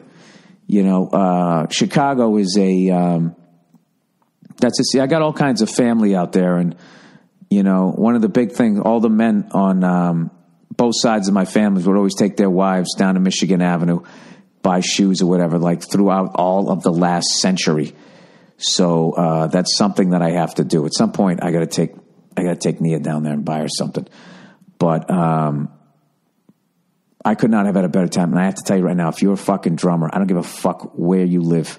If you're anywhere there in the Midwest, if you're in fucking Des Moines, I don't want to hear you bitching about the fucking the ride. Like if you're gonna make a major purchase, if you're gonna go buy a bunch of new cymbals and all of that type of shit, I'm telling you, get in your fucking car, drive to Chicago, go to Vic's, and I'm telling you, that guy he has everything. He had Zildjian, he had Sabian, he had Pace, Pa- Pasty, Peisty, however you say that, Meinl, he had fucking, he had it all. Every fucking hi hat, just, it was insane. It was fucking, it was actually like, and he was going over, he had a percussion room, and he was, he was going over the whole fucking thing. It, it was like, it was like sensory overload. I almost had to try to be like, he had like a whole fucking, all, all these snares. This whole room was just all snare drums hundreds and hundreds and hundreds of fucking the, the amount of money this guy has invested in just to fuck just to be carrying that that amount of inventory. Another cool thing he had he had a whole tabletop this giant table almost like an island that you'd have in like a big kitchen. The, the whole tabletop the surface was made out of that material that's a practice pad so like literally like 20 drummers could stand around it and all be just trying out sticks. And that was of course in the stick room. I can't even like the whole fucking thing was just it was just from top to bottom was most insane fucking place I've ever been to. And I was just like, hey man, I wanted to play, you know, if I wanted how much you charge for studio time? He's like, hey, you know, like 15 bucks for an hour. I can go play in a kit. You know, while I'm on the fucking road. That would have been the greatest thing ever. So that's that's my one regret is that I didn't do that three days in a row and, and get three hours better on drums or who's kidding who. I probably would have gone there for two. You got you got to do at least two, right? The first hour is practice and all the shit you suck at, and then the second hour is just playing to all your favorite songs, fantasizing that you're in the band. I don't think that's weird. I think that's normal for me to do. Pushing fifty years of age. so, anyway, so I got the big Philly gig the big Philly gig coming up this weekend and uh, Friday night, and um, it's going to be me, Paul Verzi, and Joe Matarese. Joe Matarese, Philly native. And um, we're going to be coming in there. So I've been asking the good people of Philly where I should go to get my fucking cheesesteak, you know? Because tourists like me, oh, go down to Geno's and the other fucking place, whatever they are. So I've been getting all these ideas from people, and the overwhelming winner. All right? This is like an election, so you're going to know who's winning. And if you guys think I'm making a mistake, you got to send me a tweet. The overwhelming winner, as far as um, not going to those two places, is, is John's Roast Pork in Philly. I know right now everybody in Philly either went like nuts, like yes, I should say people from Philly listening to this, um, either went like psyched that I'm going there, or then I'm going to get a bunch. Duh, don't fucking go there. That place sucks. So overrated. I went there and it was fucking dry. So John's roast pork Philly. I mean, that sounds delicious. So I think that that's where I'm going to go. That's where I'm going to go after the show. I'm going to go over there. I'm going to stand in fucking line. As of right now, unless somebody tells me, unless enough people tell me differently, that's where the fuck I'm going. Um, that's where the after party's going to be. I'm going to go out and get a fucking cheesesteak. And you know what? I can't fucking wait. I can't fucking wait. That's going to be great. I just fast forward in my life. Um, so, anyways, but like I said, I'm going to try to be a good boy here this whole week. I'm going to be working out and doing all that type of shit. I got to get my ass back in shape. I put on probably like seven or eight pounds over two weeks. Maybe not that much weight. It just feels like I did. But you know what? I'm gonna. Uh, I'm in town here for a good four or five days before I have to go back out again, and I'm just gonna eat perfectly and work out. That's what the fuck I'm gonna do. That's what I'm gonna do. And uh, I think just from just literally not drinking at this point, uh, that alone will be enough for me to drop a couple this week. So if I drop a good, you know, three, four before I do uh, the Madison Square Garden one, I should be happy, right? Um, all right, so there you go. So that's the. Uh, oh, did anybody see that fucking Giants Saints game? Did you see the Giants Saints game? It's one of the most fucking insane games I've ever seen in my life. One quarterback throws for seven, Drew Brees. Eli throws for fucking six. Did you fucking, you want to see, you know? Every time I watch the Giants, there's something that reminds me, not every time, but a lot of times reminds me of losing Super Bowls to them. That fucking drive that they had, the football gods love Eli. I don't ever want to see that guy again in the playoffs. He fucking comes down the field, right? They're, they're threatened. They're down by, what were they down by? They were down by 14 at that point. It was like 42 28. Nobody had even attempted a fucking field goal at that point, I believe. So, probably hadn't punted either. So they fucking, uh, whatever. They, they call a pass play. He drops back to pass. Somebody comes right up the middle, fucking drills the guy. He fumbles the ball. Saints recover. There's like 13 minutes left or 12 minutes left. It's not the nail in the coffin, but like if the Saints drive down and fucking score a touchdown or even kick a fucking field goal, they're three scores up with probably nine minutes left. They are ridiculously comfortable at that point. All right? The defense would probably be a little deflated because they sense it too. The Saints would be on their toes. You know, just a game changer, right? Football gods step in. Football gods step in once again. And they called some ticky tack horseshit fucking uh, defensive holding, right, on the Saints, which gives the fucking uh, Giants the ball back and keeps the drive going, gives them like a fucking first down. They get all the way down to the end. They're on the goal line. Eli goes back to pass. Here comes the fucking rush, and he's rolling out. They should have sacked him, but they didn't. He's rolling out, and I know what's going to happen. He's going to throw the ball, and somehow it's going to land in some giant giant's hands. So he throws the ball back across his body, running right, throws it back left with barely anything on it. Classic Brett Favre six interception game throw. Throws the fucking thing. It's going to be a pick. But the guy on the Saints mistimes his jump, gets hit by another Saint, lands on his fucking head and gets a concussion, and this fucking duck just lands into the hands of a giant for a touchdown. I've never seen a guy. The, the horseshoe that is up this guy's fucking ass. I just I looked at it. I was like, that that right there. If we play them again, that's how we will lose. We'll lose to them just like that. E- Exactly to a fucking T. I don't know what it is. He that guy has the fucking magic. And there's nothing too. Now that I'm saying this and being a whiny cunt fucking Patriot fan, that guy also made some some fucking sick ass throws. He's definitely. I'm, I'm, I'm not shitting on the guy. I fucking love him. I think he's the shit. But I've never seen a guy fuck up so many times and, and, and does not pay the price for it. Maybe I need to watch him more. Or maybe I'm still just so fucking rattled from those two fucking. Oh my god! When we when we were undefeated, when he threw he threw a pick to Asante Samuel, it hit him in both hands. The guy just drops it. Then he throws behind his fucking receiver. The guy reaches back over the Patriot guy's arm and catches it with his hand in his helmet. Fucking I, I mean, just anybody else that'd be an incomplete pass. You fucked up as a quarterback, or it would be it'd be a pick. I'm telling you. I, I've I've I've never fucking seen it. It's just it's insane. I never want to see that guy. If we play the Giants in the Super Bowl this year, I'm telling you right now, I'm not going to watch it. Or I'll watch the first three quarters, and then I'm just walking away, and I'm going to stand outside my party, and just waiting for the screams of agony. I know it's going to happen. I'm, Dude, what the fuck? When that happens, I'm just going to fucking, I'm just going to walk away. I'm going to walk away. I'm not going to watch ESPN for like a month. I'm not, I, you know, I might even take a month off from my podcast. I didn't want to fucking see it. I'm telling you, this guy, he sold his soul. Something happened. Isn't that right, Cleo? Come here. Get over here, buddy. Get up on the couch. What do you say there, buddy, huh? What do you say? Hmm? Want to hear? Listen to this. You never do the fucking moan when I give you the hug. She does this thing. I come up, she give her a hug. She goes. "You stink, buddy. You know that? I'm going to give you a bath. You want a bath? Oh, there's the look. Why don't dogs like getting baths? You know what I mean? They hate the process, but then afterwards, they fucking freak out. I can't tell if it's because they feel good or they're just psyched that it's over, but it's almost like watching a junkie just keep using rather than just going. If you just go through a little bit of misery, you know, you're going to be all right. Huh? Mwah.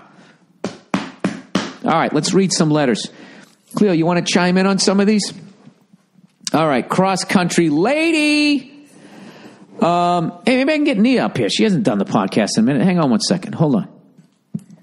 Well, no such luck. I thought she was downstairs. Where is she, Cleo? All right, cross country lady. Uh, Bill, I'm a 25 year old girl. Um, you're a woman. You're a lady. I'm pretty responsible and competent and don't whine like some broads over there. I'm not one of those girls who can say they know how to change a tire, but I've done enough that I think I could if I had to. Yeah, you can change a tire. You got to change a tire, but you, nobody can change a fucking tire with the factory jack that they jack handle that they give you. You can't get enough fucking torque unless you're just some fucking. You got those Popeye forearms. What you really need is you just need a little piece of pipe that you can stick over. You know, you loosen the lugs while it's still on the ground. Then, as you go to jack it up, you stick your spare underneath the tire, underneath the fucking frame in case it comes crashing down. That's supposed to save you, but the fucking thing's so goddamn small now, it doesn't matter. All right? You take the fucker off, you put the new one on. All right? You put all the fucking lugs on that you put in your pocket or in a place that none of them rolled away. And then you lower the car back down and then you tighten and you go. It's the easiest fucking thing ever. Right?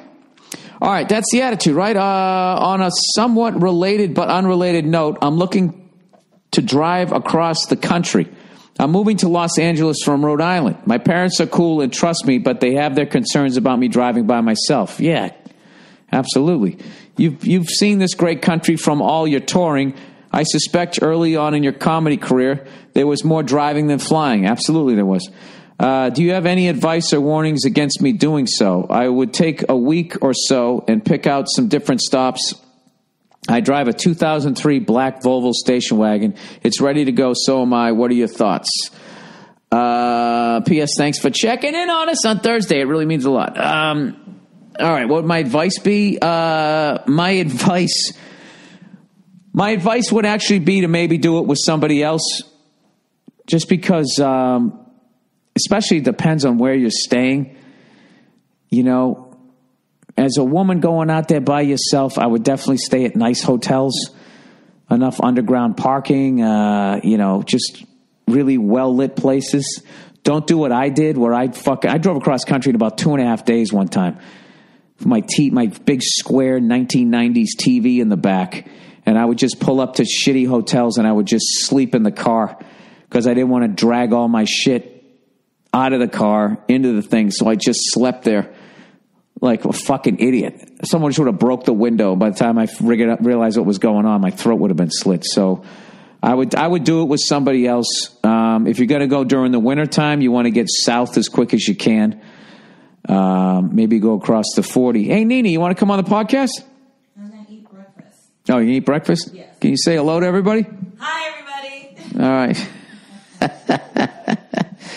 um, so I would maybe do the 40 as opposed to the 70. Um, the 70 is beautiful when you drive across. Uh, I believe that one, it goes, it actually goes south of Pittsburgh.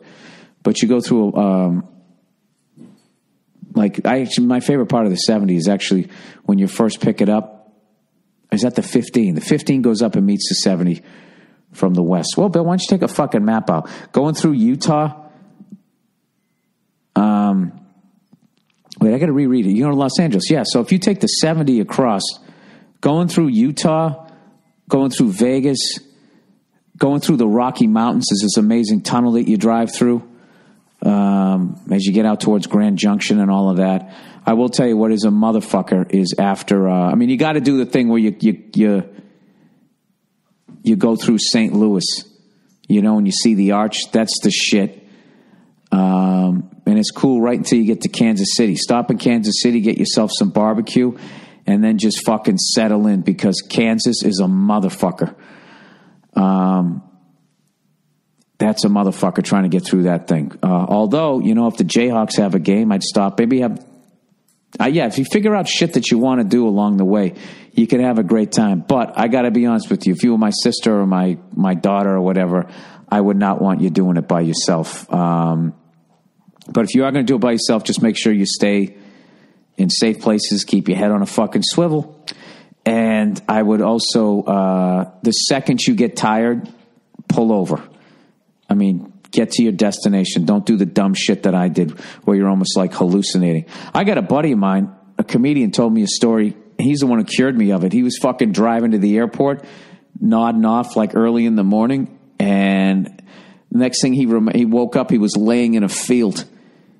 He got thrown from the fucking car, and somehow just landed in the field and was okay. And uh, he wasn't wearing a seatbelt, obviously. By the way, did you guys see that kid out here in Los Angeles? This poor kid, like 20 years old, was driving, lost control of his car. The thing was rolling. He got ejected out of the car.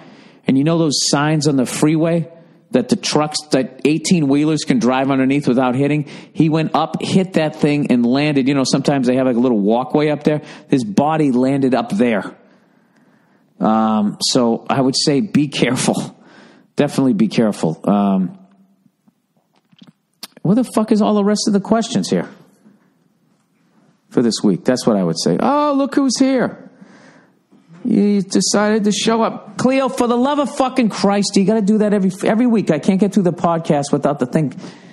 You just love unplugging shit, don't you? All right, come in, Nini. Help me with these last few uh, these last few questions.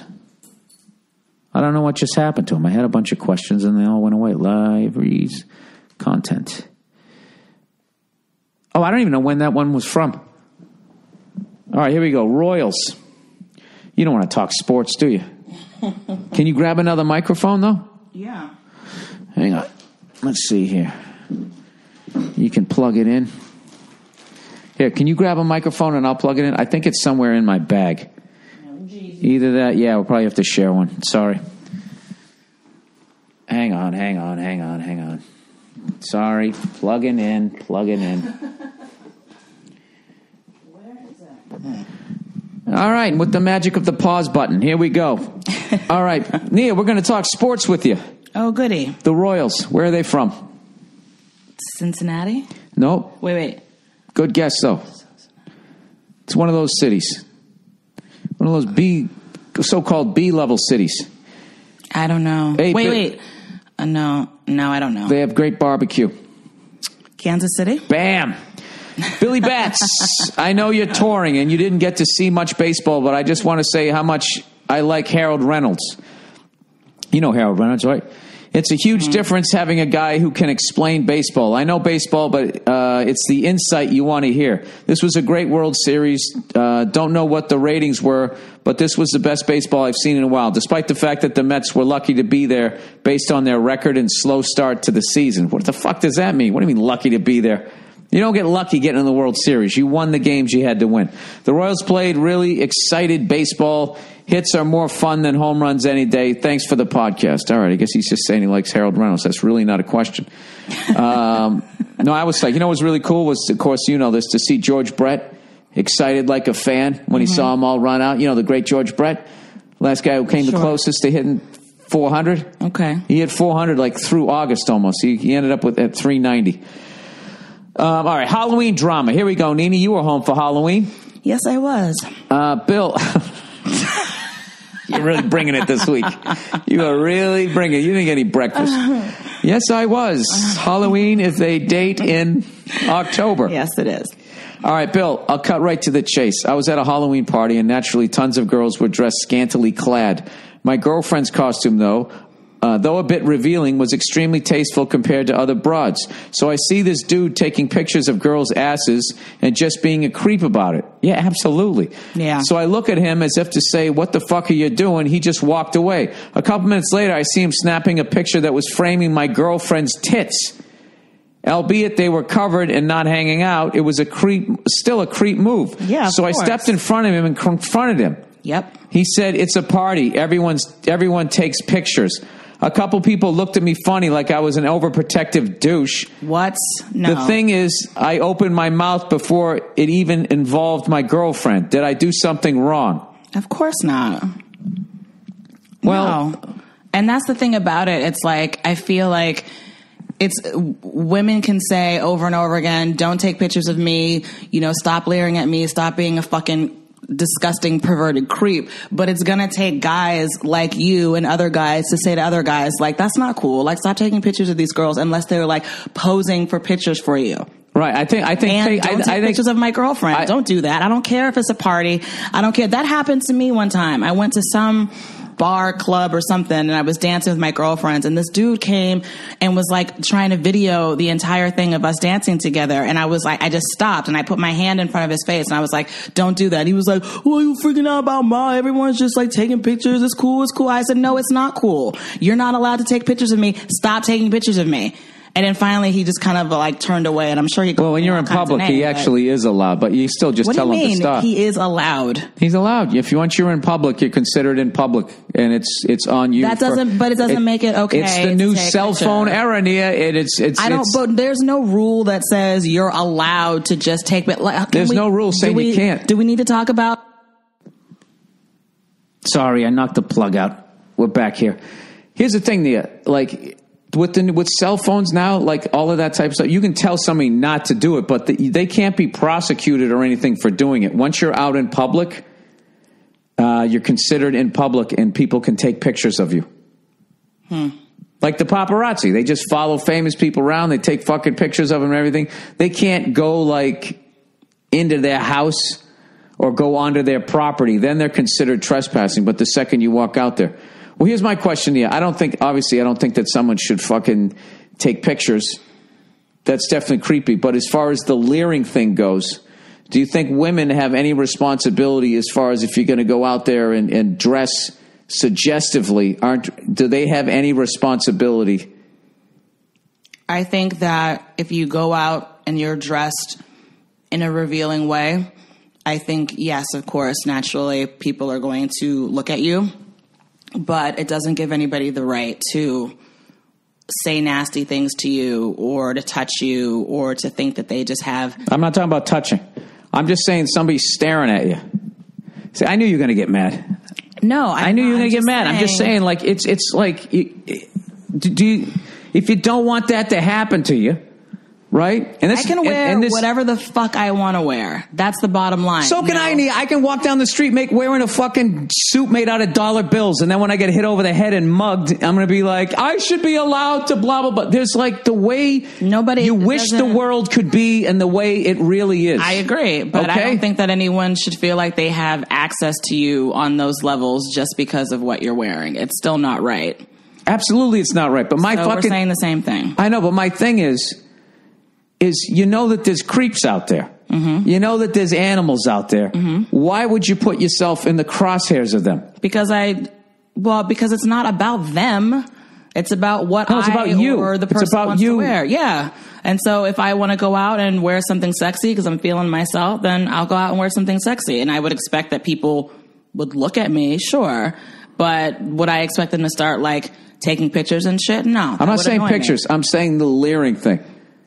Like as, as a guy, a- a- Yeah, on- you're gonna get looks, on on the guy side of it is when a woman shows up with their tits hanging out, Mm-hmm. okay, and you look at her tits and then she gets mad. We're always like, well, fucking put them away.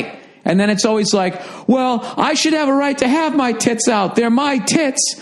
You know, and then we we get yelled at like we're these fucking lunatics, and it's almost like like that in in policing. That's like entrapment. Well, I think there's. Well, first of all, no one's fucking thinking about you. All right, you're not fucking Marion Barry. This isn't entrapment. Okay, so.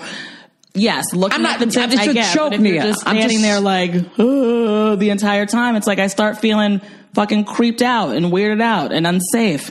So have your look and keep it moving. Okay, so that's definitely fair. Have your So- look and keep it moving. I love it. That's the rule. So let me ask you this.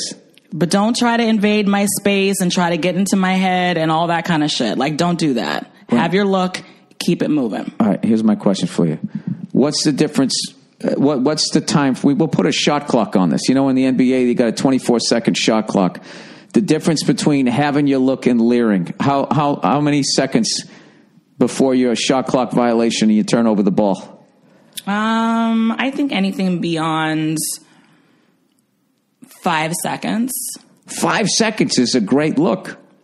Yeah, five seconds should do it. The old up and down, hmm, nice, maybe a little smile.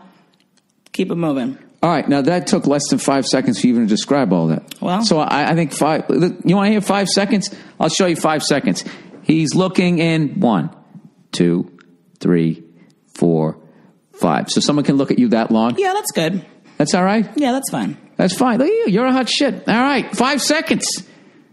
Any ladies out there, if you want to, you want to add some time to that, you want to shave some off. There, that is the kind of thing that, that guys though, because listen, sometimes you know what's the worst thing is when you're not a fucking pervert, but the woman's gorgeous and she's wearing something so revealing, and then she comes at you like you're a fucking creep, and you're just like you're wearing a cat suit.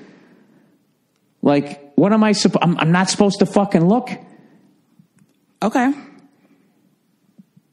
That's all right. That's what I'm saying. Yeah, you can. I, it's like I keep saying, look and keep it moving. That's it. It You know doesn't what? have to be this whole fucking thing where you're like staring and panting, and by staring, you're trying to get my attention so that I react. It's like if you're gonna stare and then I catch you staring, just sorry, it's for staring. You just you you look beautiful. Thank you. Moving on.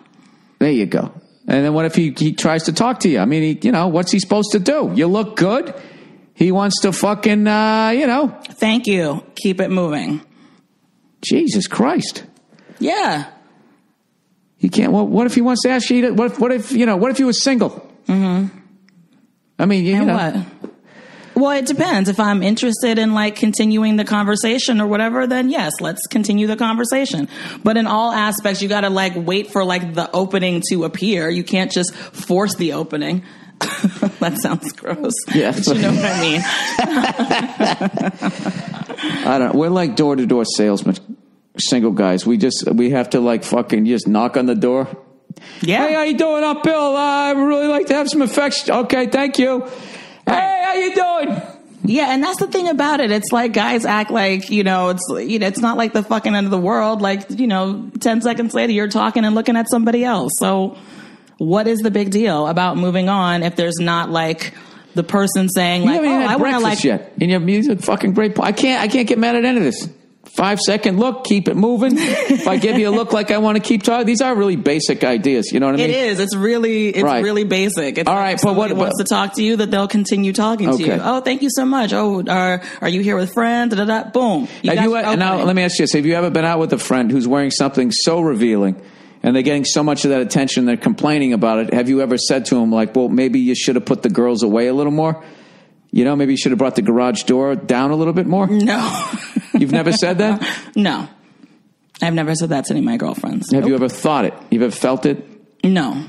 You've never had a roommate or a girlfriend just show up and be like, oh my God, her hoo ha is almost peeking out from underneath that dress. This is, oh, I'll tell you, this is going to be a rough one. Like, you know, all these dogs. You never think that? I have to be honest with you, though. I, I don't think that most of my girlfriends dress revealingly. Okay, so have you And seen not a somebody that you don't know? just Have you seen somebody that you don't know show up at a club, Mm-hmm. okay, with like, you know, body paint on and a pair of pasties and just go like, Am I at Carnival? huh?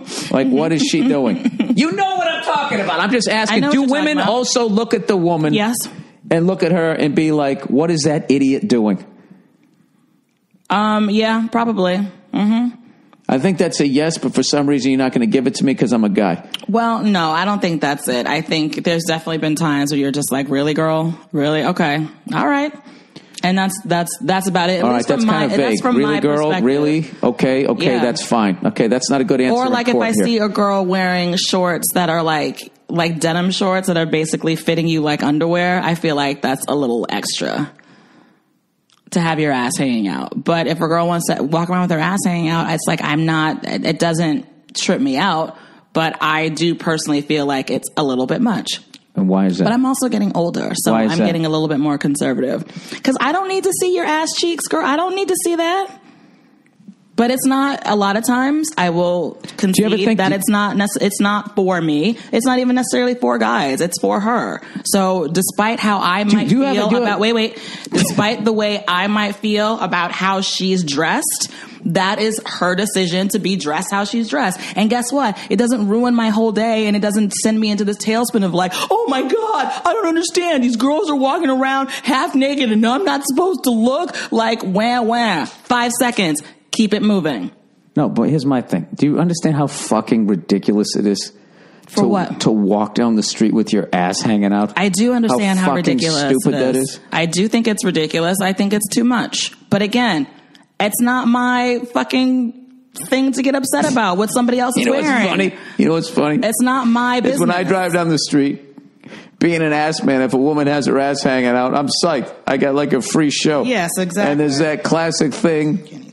There's that classic thing where like how guys can't do that. There's nothing we could do like physically like that that makes you guys almost crash your car. This is a hacky joke, but if we were walking down the street with half our nut bag hanging out, you'd be like, ah! Yeah, it'd be gross.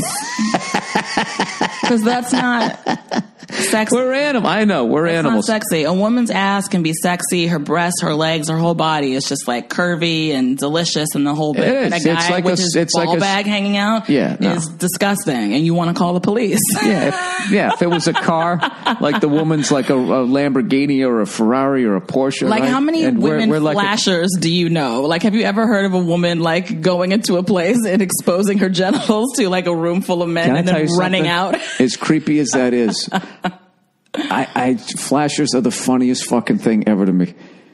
The fact that they, you know, the the classic one with the fucking wingtip shoes, the dark socks, and just the raincoat on, and you just throw open your fucking coat, showing your flaccid dick or whatever.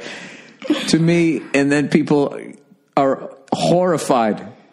Like the reaction that it's you like get. traumatic. It's fucking weird. But that's the, that's the funny thing about it is that the, you would think that you, you're doing something because in the end you wanted to get a positive reaction, but to fucking throw it open and people literally repulse like "Ah!" when you do that, Mm-hmm. looking at your naked body, the fact that they get off on that Yeah. is fucking hilarious to me. it's so it's yeah, ugh, it's gross.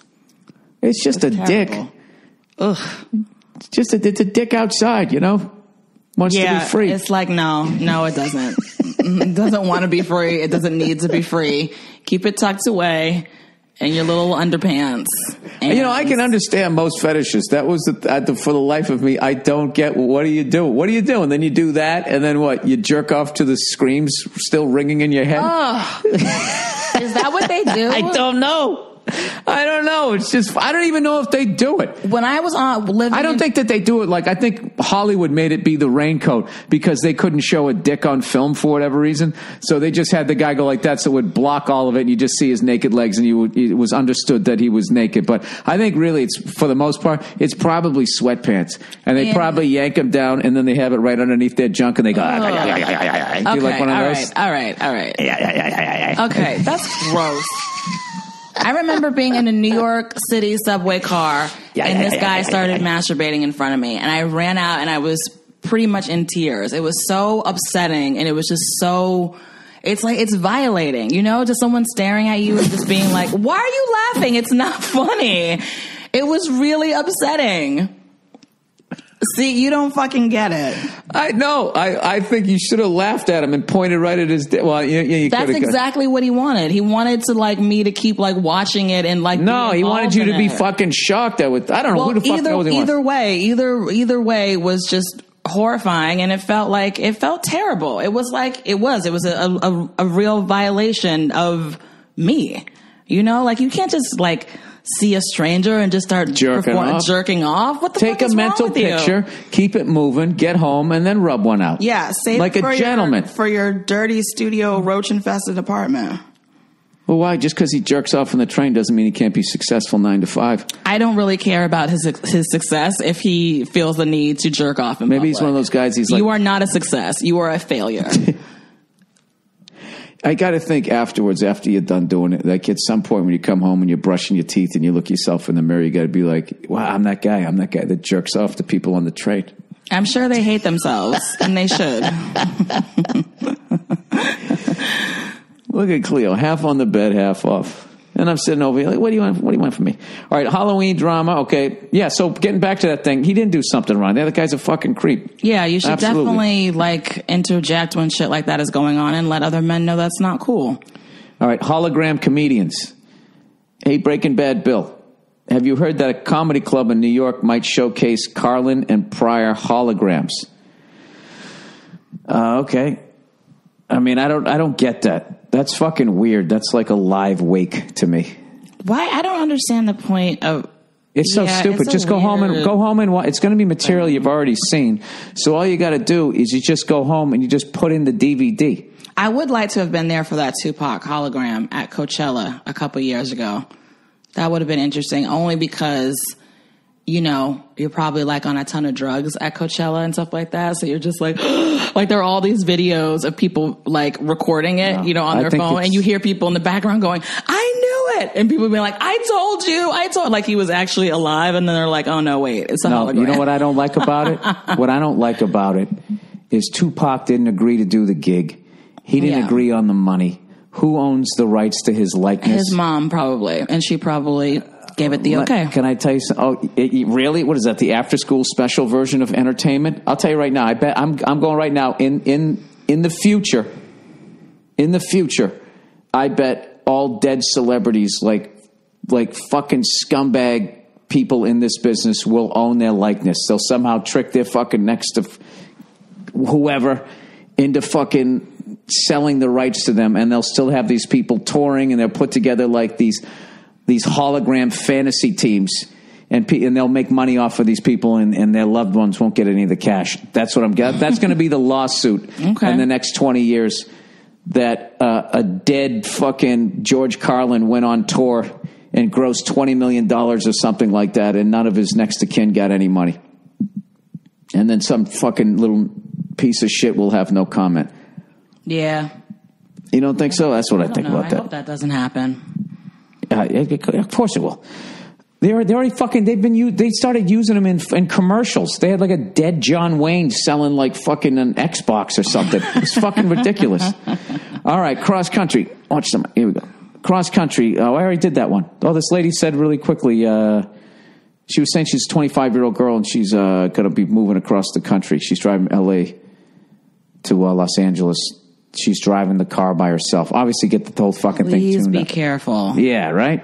That's what I was Please be saying. careful. I said she should do it with somebody else. What do you think? I mean, yeah, she'll be she'll be able to handle it. She'll be she'll be all right. Just be careful. Yeah, just make sure that car is running perfectly, and you know, make sure you don't stop in any sketchy fucking motels. It always That's makes me think of your bit I about um, murderers buffet. What did you call it? A serial killer buffet. Serial killer buffet, a motel. Motels They just on walk the down, ground yeah, floor. where your door opens up to the parking lot. the bar- yeah. Serial killer buffet. I'm killing this guy. I'm killing that guy. That one's all right. Yeah, you staying in that fucking hotel from uh, No Country for Old Men. Right. All right, LegalZoom, everybody. I got to do a couple of. Uh, you want to listen to me do the reads and then sign off? Sure. All right. Oh, Jesus. Uh, LegalZoom, everybody. Somewhere along the line, I know I pissed you off on that the flasher thing. Mm-hmm. You sh- did I? No, I don't know. Just in general. Just But an- go on. Just an in general annoyance of me. Yep. But please Really? read your read your ads. I come back off a two week tour, conquering I was fucking so happy goddamn to hero. have you. I was so happy And to within have you. 24 fucking hours, you're already sick of me. That's what you're saying? Unfucking believe. You know what, Nia? If you ever leave, if you ever leave me um, for the rest of my life, I'm just going to be that guy. I'm going to have dogs. I'm going to have dogs, and I'm going to go down to a massage parlor every day, get one rubbed out, and I'm going to be good for the rest of the day. Dogs and the fucking NHL package. Tell my jokes. That's it. Yeah. Your, your lawyer goes to call me. I'll be. What does what does she want? What does old sweetie Oh, cakes want? Don't huh? talk about that. Don't say that. You dumb bowl of oatmeal. Is that oatmeal? Or is that sugar corn smacks? No, it's uh, Are you steel cutties? granola that has dried banana in it for some fucking reason. All right, legalism. You don't like bananas. I don't like the texture. I hate when you say that. Why? It's always a food that I like, and then you go, "Why don't you like it?" They're deli- I don't like the texture. You're such a narcissist that I can't even not like a certain food, and you get offended by it. Like, uh, who, what do you care if No, I don't like bananas? certain words I don't me. like. I don't it like- Annoys me. Why, Bill? I don't like texture. Who says that? It's a legitimate thing. I don't like the texture of banana. It feels weird in my mouth. It- It's not a don't like sofa. it. it's a fucking piece of food. Okay, texture can refer to things that aren't just like Furniture. furniture. All right. I just hated it. Ugh. I don't like the texture. Like you're some food critic. Just be happy God made it and eat it. Good luck. Legal some. Tell, say that. Say that someday. Someday in the afternoon. Uh. Yeah, you're gonna go. You go meet God. You tell us. You know, it's my. I had a great time. Thanks for like. By the way, can you work on the banana thing? I, I didn't like the texture. This isn't like a human being. I'm allowed a goddamn to not monkey like bananas. throwing a bunch of different What is the combinations. matter with 'Cause it's me not- all natural. so what? It's like your weed, man. I don't have to like weed is. Oh yeah, well that's a good thing. Hey, it's good to see you. Yeah, you too.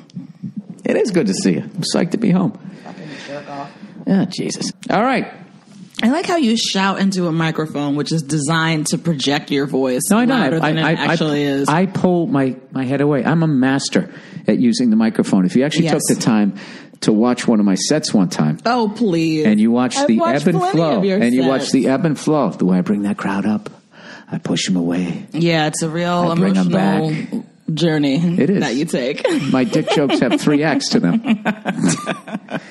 you know what, Nia? I was so excited to see you, and I still am. And for you to sit here coming back, and I'm not, I'm not feeling the love from you. You still look cute. Look at that nose, huh? Thank you. No, I'm excited to have you back. You've been gone for two weeks. It's great that you're home. You sound like you're reading a statement from a, for a corporation. we are excited to have him back. Uh, he I was am. gone I'm for excited two weeks. to have you back. We uh, still Um, haven't gotten all the information, so we can't can't comment on anything else at this time. Right, exactly. You look at that goddamn dog. That thing slept eight hours last night. I literally walked it around the block, gave it food, and it is just out like a light. It's right now, people. It's it's on its dog bed. Three quarter of its dog, its body is on the dog bed, and then like its head and neck is off. Looks like it passed out, like, it- like it fainted. All right, that's the podcast for this week. Thank you to everybody uh, for listening. And uh, hey, Nia, you- you're a huge uh, cheesesteak fan, right? I love cheesesteak. I love cheesesteak. I don't like the It's way you my said favorite that. sandwich. I felt like you were leering at it. Just look at the sandwich and keep it moving. Keep it moving. You're like, I love cheesesteaks. It's my favorite sandwich in the whole world. Is a, All right. Philly cheesesteak. Do you have to say Philly cheesesteak, or can you just say cheesesteak? You, they just When say- you're in Philly, Yeah. you say cheesesteak, but everywhere else, when you have in to say Philly. when you're in fucking uh, France, you just order onion soup. You know, go. Okay. Can I get French onion soup? They're like, well, you're, in France, you fucking idiot. So everything here is going to be French onion soup. I guess that's true. Actually, oh, whatever. Okay. Um, everyone's telling me to go to John's Roast Pork. And doesn't that just sound good? The name. Oh, it's a it's a place to eat. Yeah, because what are the two? What are the two touristy places? It's Geno's and what else? Oh, come I on. forget. Geno and uh, Rabinowitz's. Yep. Chino's. oh wait, Philly. Yeah, there's the two. They're right two next to each other. Places, right? Yeah. Hang on, hang on. Geno's Geno's Steaks and uh, and then the other one. I don't know how to look it up, and I can't do it with one fucking hand. Even, but even those were good. Last time me and Verzi went there, we, we got we both got we stood in line. He stood in one, I stood in the other. We got one of each, cut them in half, and then Oh, did like a, a taste test? yeah. All right, top ten you- spots. did- are you are you willing to reveal which one you liked better? Um, oh, Pat's. All right, so one of them had a better cheese. I, I can never remember this shit. Do you get Or I like the bread Do you better. get whiz? I don't like whiz. I like real cheese. Me too. I like the real cheese. Look how fucking good those look. And this is the thing too. You guys don't understand. Out here, they just don't have good delis. They can't make good. It's a dry air or something. They can't make good bread. The sandwiches, the There's fucking that place the that I want to go to fucked up. downtown. That uh, pastrami place. That's supposed to be really good in downtown LA. I forget the name of it. They talked about it on that show, The Comedians. Oh, okay. You know, with Josh Gad and um. Yeah, you mean that fucking brilliant show that I absolutely love that they're not bringing back for some fucked Did up they reason? cancel that show? Yeah, it sucks. I love that show. Listen, I gotta I gotta upload this because I gotta get on with the day here. Hour and twenty five minutes, huh? Because you stuck around. All right, everybody, go fuck yourselves. I'll check in on you on Thursday. What's up, everybody, and welcome back to the Anything Better podcast, NFL edition for week number nine, with your host Paul Verzi over here, Bill Burr over there, Andrew Paul Semlis Verzi over here. over here, guys. We're going into week number nine, sponsored by our favorites, BetMGM. It's the BetMGM app, everybody. It's the best app. It's the best lines out there. What do you do to get it? All you do is you download the app. You put as little as ten dollars into the account, and you will get up to two hundred dollars in bets, regardless of the outcome of your first wager. It's an incredible deal. Please bet responsibly. Here's how it works you download the app, you use our code, the anything better code, which is BURR200, B U R R 200, and put as little as $10 in. You also have a survivor pool where you could pick a team. Not against the spread, just have that team win and you keep going every week, so on and so forth, and until you lose, and then you're done. But there are still prizes for that as well. Um, yeah, man, let's get into this, dude. That What was a great read, Paul. You look What? right into the camera, right in Mr. and Mrs. America. I thought that was fantastic. Look, dude, you know something? When you're when you're a pro, you're a pro. Yeah. Hey, you know, Paul, you know, they can't teach what you just did. Hey, who am I? um, dude, Dude, how about the Texas Rangers? I know. I Did you know. watch any of that series? It was, I mean, it was just fun to watch. I mean, it was, I mean, they kind of blew through them, but uh, I'm really happy, man. I'm really happy for Texas Rangers fans. They've been, what, dude? That, that that's the old Washington Senators. They moved in 1962 or or st- came back in 62. That's right. After the, the original Senators moved to Minnesota and became the Twins. Yeah. One of the most fucked up things ever. The Senators left from lack of support, and then they gave them the Senators again, a different Senators. It's like the Cleveland Browns became the Ravens, but even the Cleveland had to wait.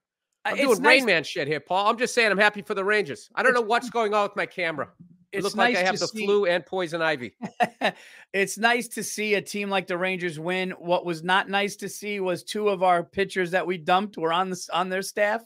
So uh, you know, you're just watching X We had one of them. We had one of them too.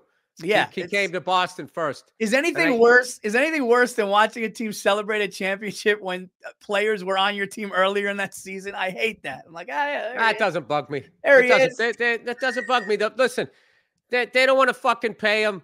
Is." Yeah. Right. So they understand now that that that that they don't care about them, so they bounce it around the league. That's just the way it is. You know what I do when I you see love that? them when they're with you. You're happy when they win somewhere else. Hey, Mookie Betts, good, good, good, good on you. We should have paid you. We didn't. Bill, you know what I do when I see an ex Yankee or an ex Knick winning somewhere else? I just go, there he is. just makes me think, there he is. Guys at the foul line. And, ah, there he is. Guy, our guy. There he There he is. is. Um, He was in grade school with us. dude, Look at him, all grown up, winning a championship. I got to tell you something, man. I got to talk about this on the show. It's one of the most disappointing Giants losses. Me and my son watched, dude. Lucas was, dude, 29 seconds left, and we were so dominant defensively, and our kicker just missed a 30 yarder, and we go to overtime and lose. I mean, it was a rough one against the Jets. Oh, Well, Paul, I got to tell you something right now. Like that fuck, I bet the Ravens last week. Okay, like I had to go for a walk after that loss. Yeah. I am like uh, that. That took my heart. Like I'm all right with it.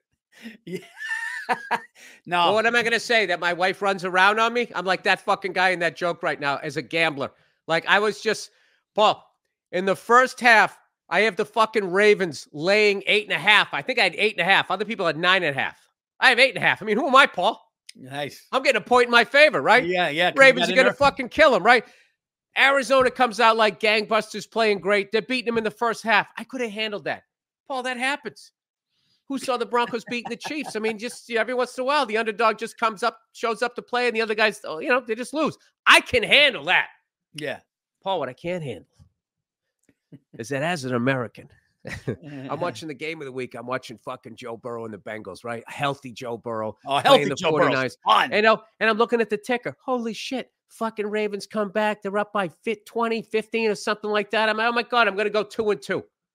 I'm not like, they was so up, Paul. I stopped watching the ticker and I'm just enjoying how great the Bengals are playing. It was a great game against the 49ers, unless you're a 49ers fan.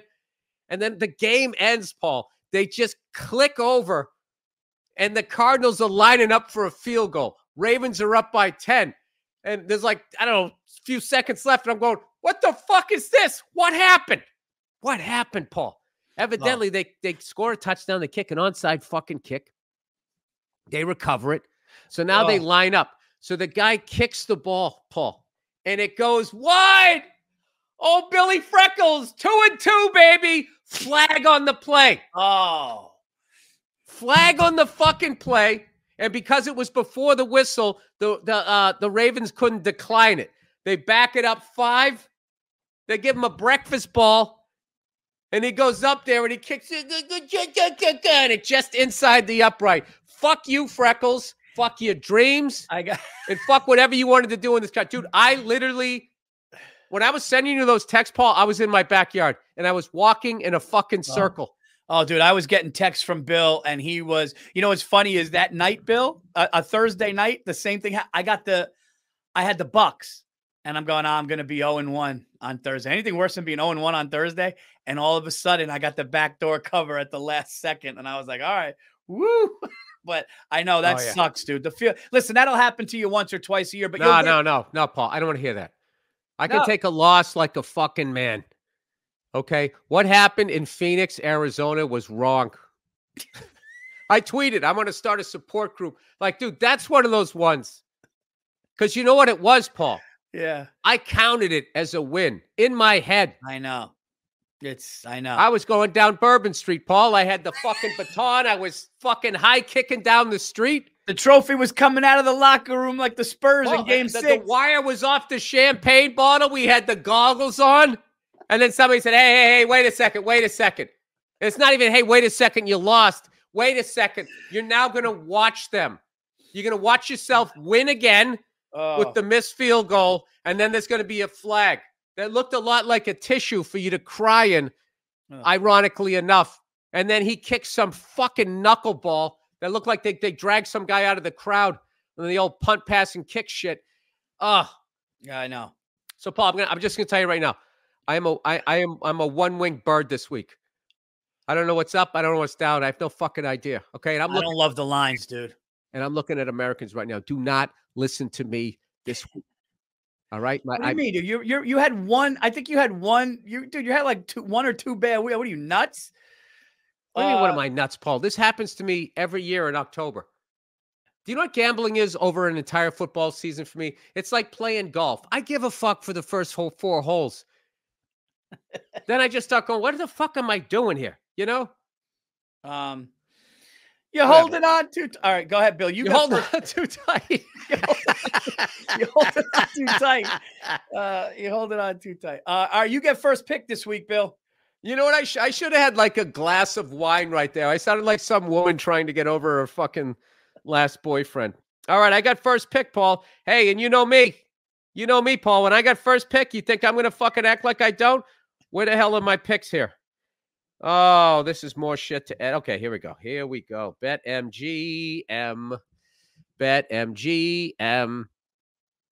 They're going to call me and just be like, you know, I understand you're talking about the emotion, but try to make gambling seem more fun. I'm going to take the Minnesota Vikings on the road, laying Oh. four. Why not against the against the Falcons? I think the Falcons had their moment. This is what I think, Paul. I know the exact opposite thing's going to happen, but I'm going to take the Vikings. You know why, Paul? Because I like the color purple. I like the movie The Color Purple. I liked Prince. My daughter likes the color purple. I just think they have prettier uniforms. All right. I don't like the Falcons how they they they they just put on black because Jerry Glanville wanted to seem like you know his dick was an inch longer than it really was. you know they they were a red team. They were red and gray, but all the way back to the great William Andrews, Billy White Shoes Johnson, Steve Bartkowski, R.C. Thielemann. Go ahead. All right. I I like this game all week. I don't love the half a point, but I'm going to take it. I I still don't believe in the Jets. Uh I think the Jets are a bad team. I think the Giants let them off the hook and should have won that game. The Chargers are starting to roll. The Chargers got Ekeler back. Austin Ekeler is back. I think the Chargers, it's three and a half. I fucking hate the half a point. If it was three, I would take it to the bank today. Oh, but I'm gonna Paul. You know it. I hate when you have hate in your heart. uh I'm gonna can't take do that, Paul. I'm friends with you because you you you have this spirit that I want. That's what I get out of this relationship. So when I see you start to act like me, it makes me lose hope. uh I'm gonna take the Los Angeles Chargers going into New York Jets and winning that game by more than three. They're more I mean, talent- they fucking do a wait, wait, they beat the shit out of the Bears, didn't they? I like that. They're coming They in there. the Bears, but they also got Ekeler. They're starting to come into their own. I think they're getting healthy. I, I think their defense is good enough. And I just I know the Jets have a great defense. The Jets don't have a quarterback, man. I just don't Yeah. think the, the Jets don't have the thing. I think I think the Chargers have better uniforms. Would you say that? I would say that, and I would they win on also the say fashion level too. if yeah. the okay. Chargers win the game, they get to they get to 500, and I think they're gonna get to 500. And I think this is a team that they could get to 500 over. So Chargers have, have- better looking fans, I have better looking fans, right? I mean, Jets are animals. better, yeah, beautiful stadium. You know, Yeah, Jets, Herbert. you know, Jet fans, they come out from underneath the Port Authority. Justin Jet Herbert's fans got a, work with their hands and sometimes fall on their faces. and Justin Herbert's got a nice head of hair. He's six foot six, good looking kid. When a Charger fan falls on his face, it's usually off a surfboard. It's a nice soft landing, Paul. I was thinking the surfboard. Yeah. Yeah. Kissed by the sun. Paul Verzi, mwah, for the win. LA All right, I'm gonna LA take- Chargers. LA Chargers. I like it. Uh, I'm gonna take the uh, I'm gonna take the uh, the fucking Houston Texans minus two and a half because my agent told me. You know, my agent's a big time gambler. You know, he's got real estate. He's got money hidden in the floors of all of his all of his buildings that he owns. You know, I'm in debt with him, so it's minus two and a half. They're playing the Buccaneers. They're both three and four. Uh, that adds up to a six and eight record collectively, and I like that. I like when two, three, and four teams play each other, Paul, and it adds up to a six and eight overall record. When two, three, and four teams, with collectively it adds up to six and eight, play each other in the first week in November. Historically, bald gingers win that bet. So I'm taking the Texans minus two and a half. All right. I like how you blew all of that off like that. Any of that made sense? No, no, I'm just looking at my, I'm, I'm looking at my pick selfishly. Hey, I'm just Uh, listening. Just Um, listening. I'm going to take a healthy Joe Burrow and the and the Bengals uh, minus one and a half at home against the Buffalo Bills. I don't think these are the Buffalo. I don't think these are your grandfather's Buffalo Bills. Or I- maybe they are. I- or maybe they are. I You know, th- I'm worried about the Bills. I feel like they're a wild animal, and that's a they're, they're a wounded animal, and that's a short bus trip. That's a short bus trip.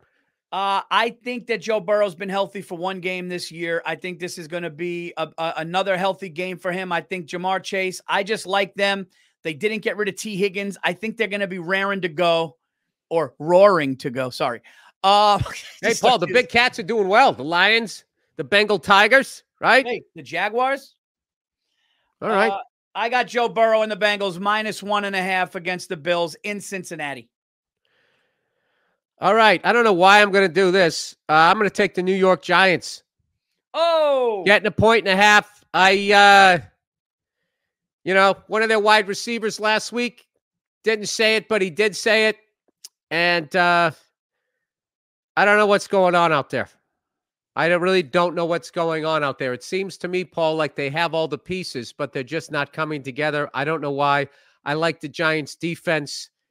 And uh, I like the Raiders defense too. I think this is a great number, minus one and a half. It's going to be a close game. And I think in a close game, I'm going to put my uh, money on Daniel Jones. Provided he doesn't fall down, I think he's going to cross that goal line and uh, I'm going to get a win. I like well, I'm that. just shooting from the hip this week. I, I'm not gonna lie. That was a pick I was gonna take. You, you. That's great. Oh, I thought you were staying away. I shouldn't have done that. I'm No, sorry. no, you want me to take the Pats? I'll take the Dude, Pats. I don't give I a don't. fuck. No, I'm not taking the Pats. You're not taking the Pats against the Commanders and No. Chiefs Here's with what a I'm little gonna- baggie of Coke in the corner? How much great is it that Joe Biden's fucking son's doing blow in the White House? Hey, they call it the White House for a reason. I love that he went like this and went up to a baby. He goes, "Hey." Do you Uh, do you think that do you think that any of Donald Trump's straws were left over from all the McDonald's he had? Wouldn't it be hilarious if he? No, they had the doing- condiments. He had the condiments left in the drawer. He had, he had like the sauces. No, he's yeah, he's using a leftover. Like Trump had a whole drawer full of straws from all the McDonald's Coca Cola he drinks, and he's taking them and he's doing blow. I mean, that's where this country's at, Paul. It's fucking Uh. fantastic. This country right now is in the second half of Goodfellas when we're driving around looking up at the helicopters. Should I do this? I don't know if I'm going to do this. The Dolphins Chiefs is an absolute scary stay away from game. And there's Isn't it? And it's in Kansas City. The Chiefs are coming off a that was like that was like Halloween. Like I feel like someone else was dressed up as the Chiefs. Oh, that's right. Jake the Snake. See, Jake the Snake just jumped in and said it's in Germany. It's in Germany. Oh, So, oh shit, that changes. guten Tag. Und Fräuleiner. Ah! Actually, I like I like the Dolphins' chances in Germany better. I'm gonna Well, take. historically speaking, on in Nazi territory, the Dolphins have done much better. I don't think Hitler would have approved of Native Americans, so I, Yeah. I think they're going to be getting the home cooking out there. I'm taking them. I'm taking. taking the Dolphins. I'm taking the Dolphins plus one You're and a taking half Nick Kroll's Dolphins in Germany. Yes, I'm taking. to, to to beat the BTK killers, fucking Chiefs. I like that, Paul. You know what? If it was if it was in Kansas City after their last performance, I'd be afraid. I'd be afraid of it. In Germany, I I like the Dolphins. I like Tua. Let's do that. Dolphins plus one and a half. Oh, this is Paulie Doggy Week. Paulie Doggy Week. Well, I haven't taken any fucking dogs this week, so I feel like I got to take one. Uh, because I I like. I mean, I'm kind of liking the Saints, but they're laying eight and a half. Paul, I don't like that eight. I would like this six point five. I would like two points in my fucking favor. You know, Paul. Hey, Paul. wh- Why can't it ever go my way? You know, I'm not hurting anybody. I was think looked anybody gives over. a fuck about me. I was looked over. I was passed over, Mikey. I'm not I'm dumb like, they, like everybody says. Not like everybody. say I can pick a game. Was it a half a point? Um.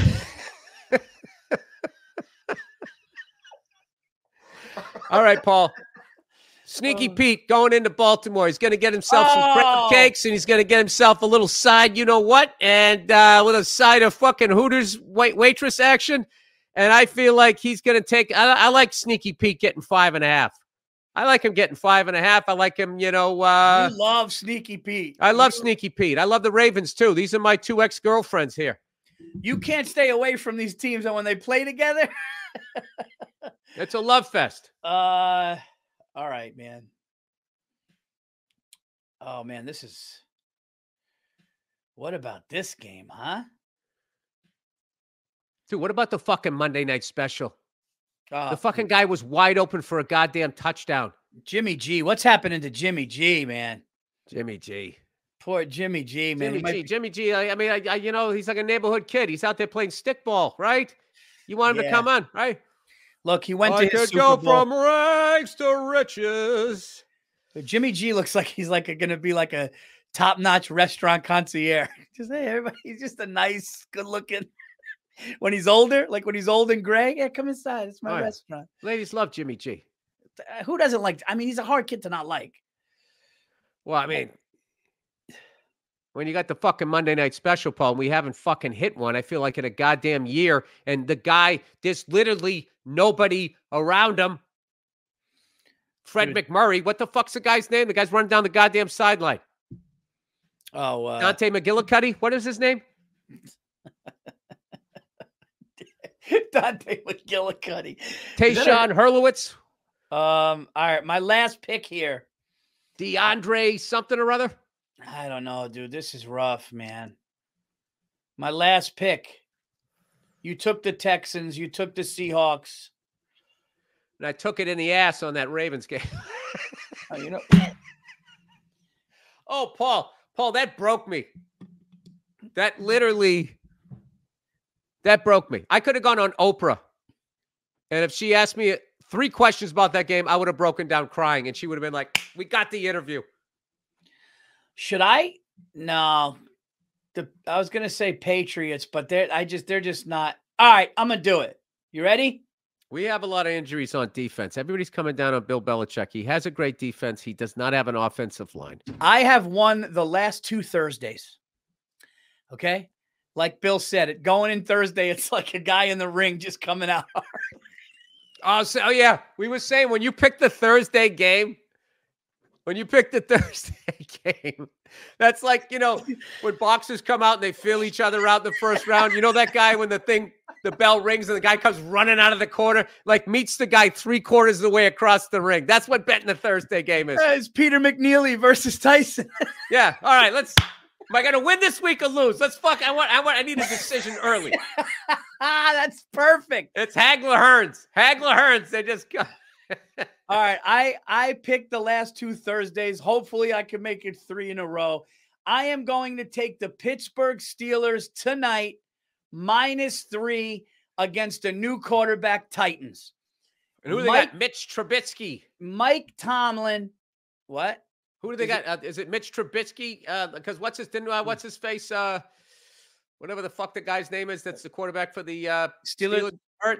Kenny got. uh, Kenny Pickett will play. Kenny Okay. Pickett. Kenny Pickett will play. That's a Mine- tough name for a quarterback. Minus three. He's got pick in his own name. I know. I know. Teddy Interception. Uh, I. Interception at. How many times did the paper have a field day with his uh, name? Well, I figure he made it to the NFL, so probably not that many. That's Um, like when the Patriots had a kicker named Scott Sisson. oh, The guy missed one, and it was missing Sisson. That was it. My um, favorite one, Ali Haji Shank Oh my god. instead of Ali Haji Sheik. oh my god. Dude, field a- goal kickers. Oh, they get some rough ones. I just think Mike Tomlin, dude. Mike Tomlin at home on a prime time under the lights game. He just the the, the Steelers are always in it. And Joe Bartnick's going to be in town doing stand up, the hometown Oh, hero. oh, if Joe Bartnick's in town, then you know if, if Joe Bartnick and his dad go to the game, forget It's it. over.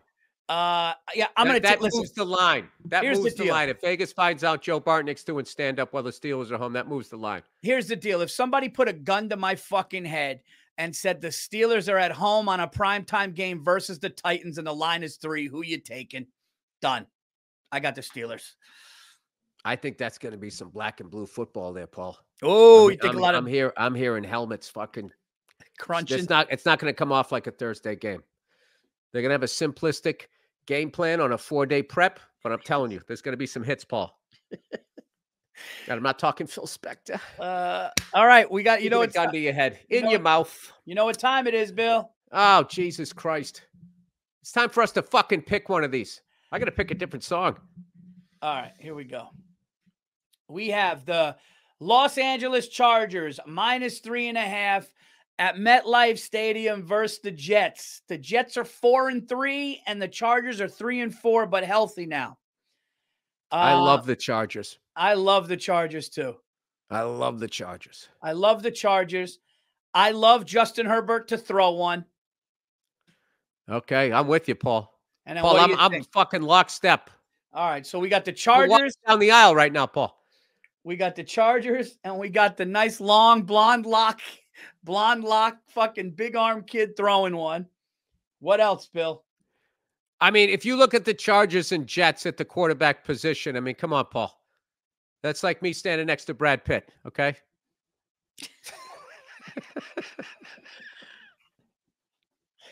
Uh, that's a, oh my God, look at that. And what is that?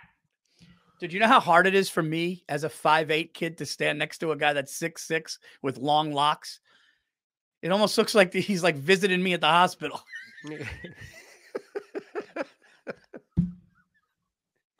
oh, we didn't do the Hair Hall of Fame yet this week. Oh, Who my god! Oh, can we can I use a young kid or no? No. Oh, Because you got no Hair Hall of Fame, dude. Know, we got to have some criteria here. You got to be over 50. Okay. Over 50, and it's as thick as when you were in fucking elementary school. Oh shit, who do we got? Um great head of hair over 50. Over just anybody in the public eye, and you're just looking at them like my like they can still like if they wanted to, they could get like the latest haircut. you know what I mean? Like whatever haircuts in style, you could still do it. like Jimmy Johnson.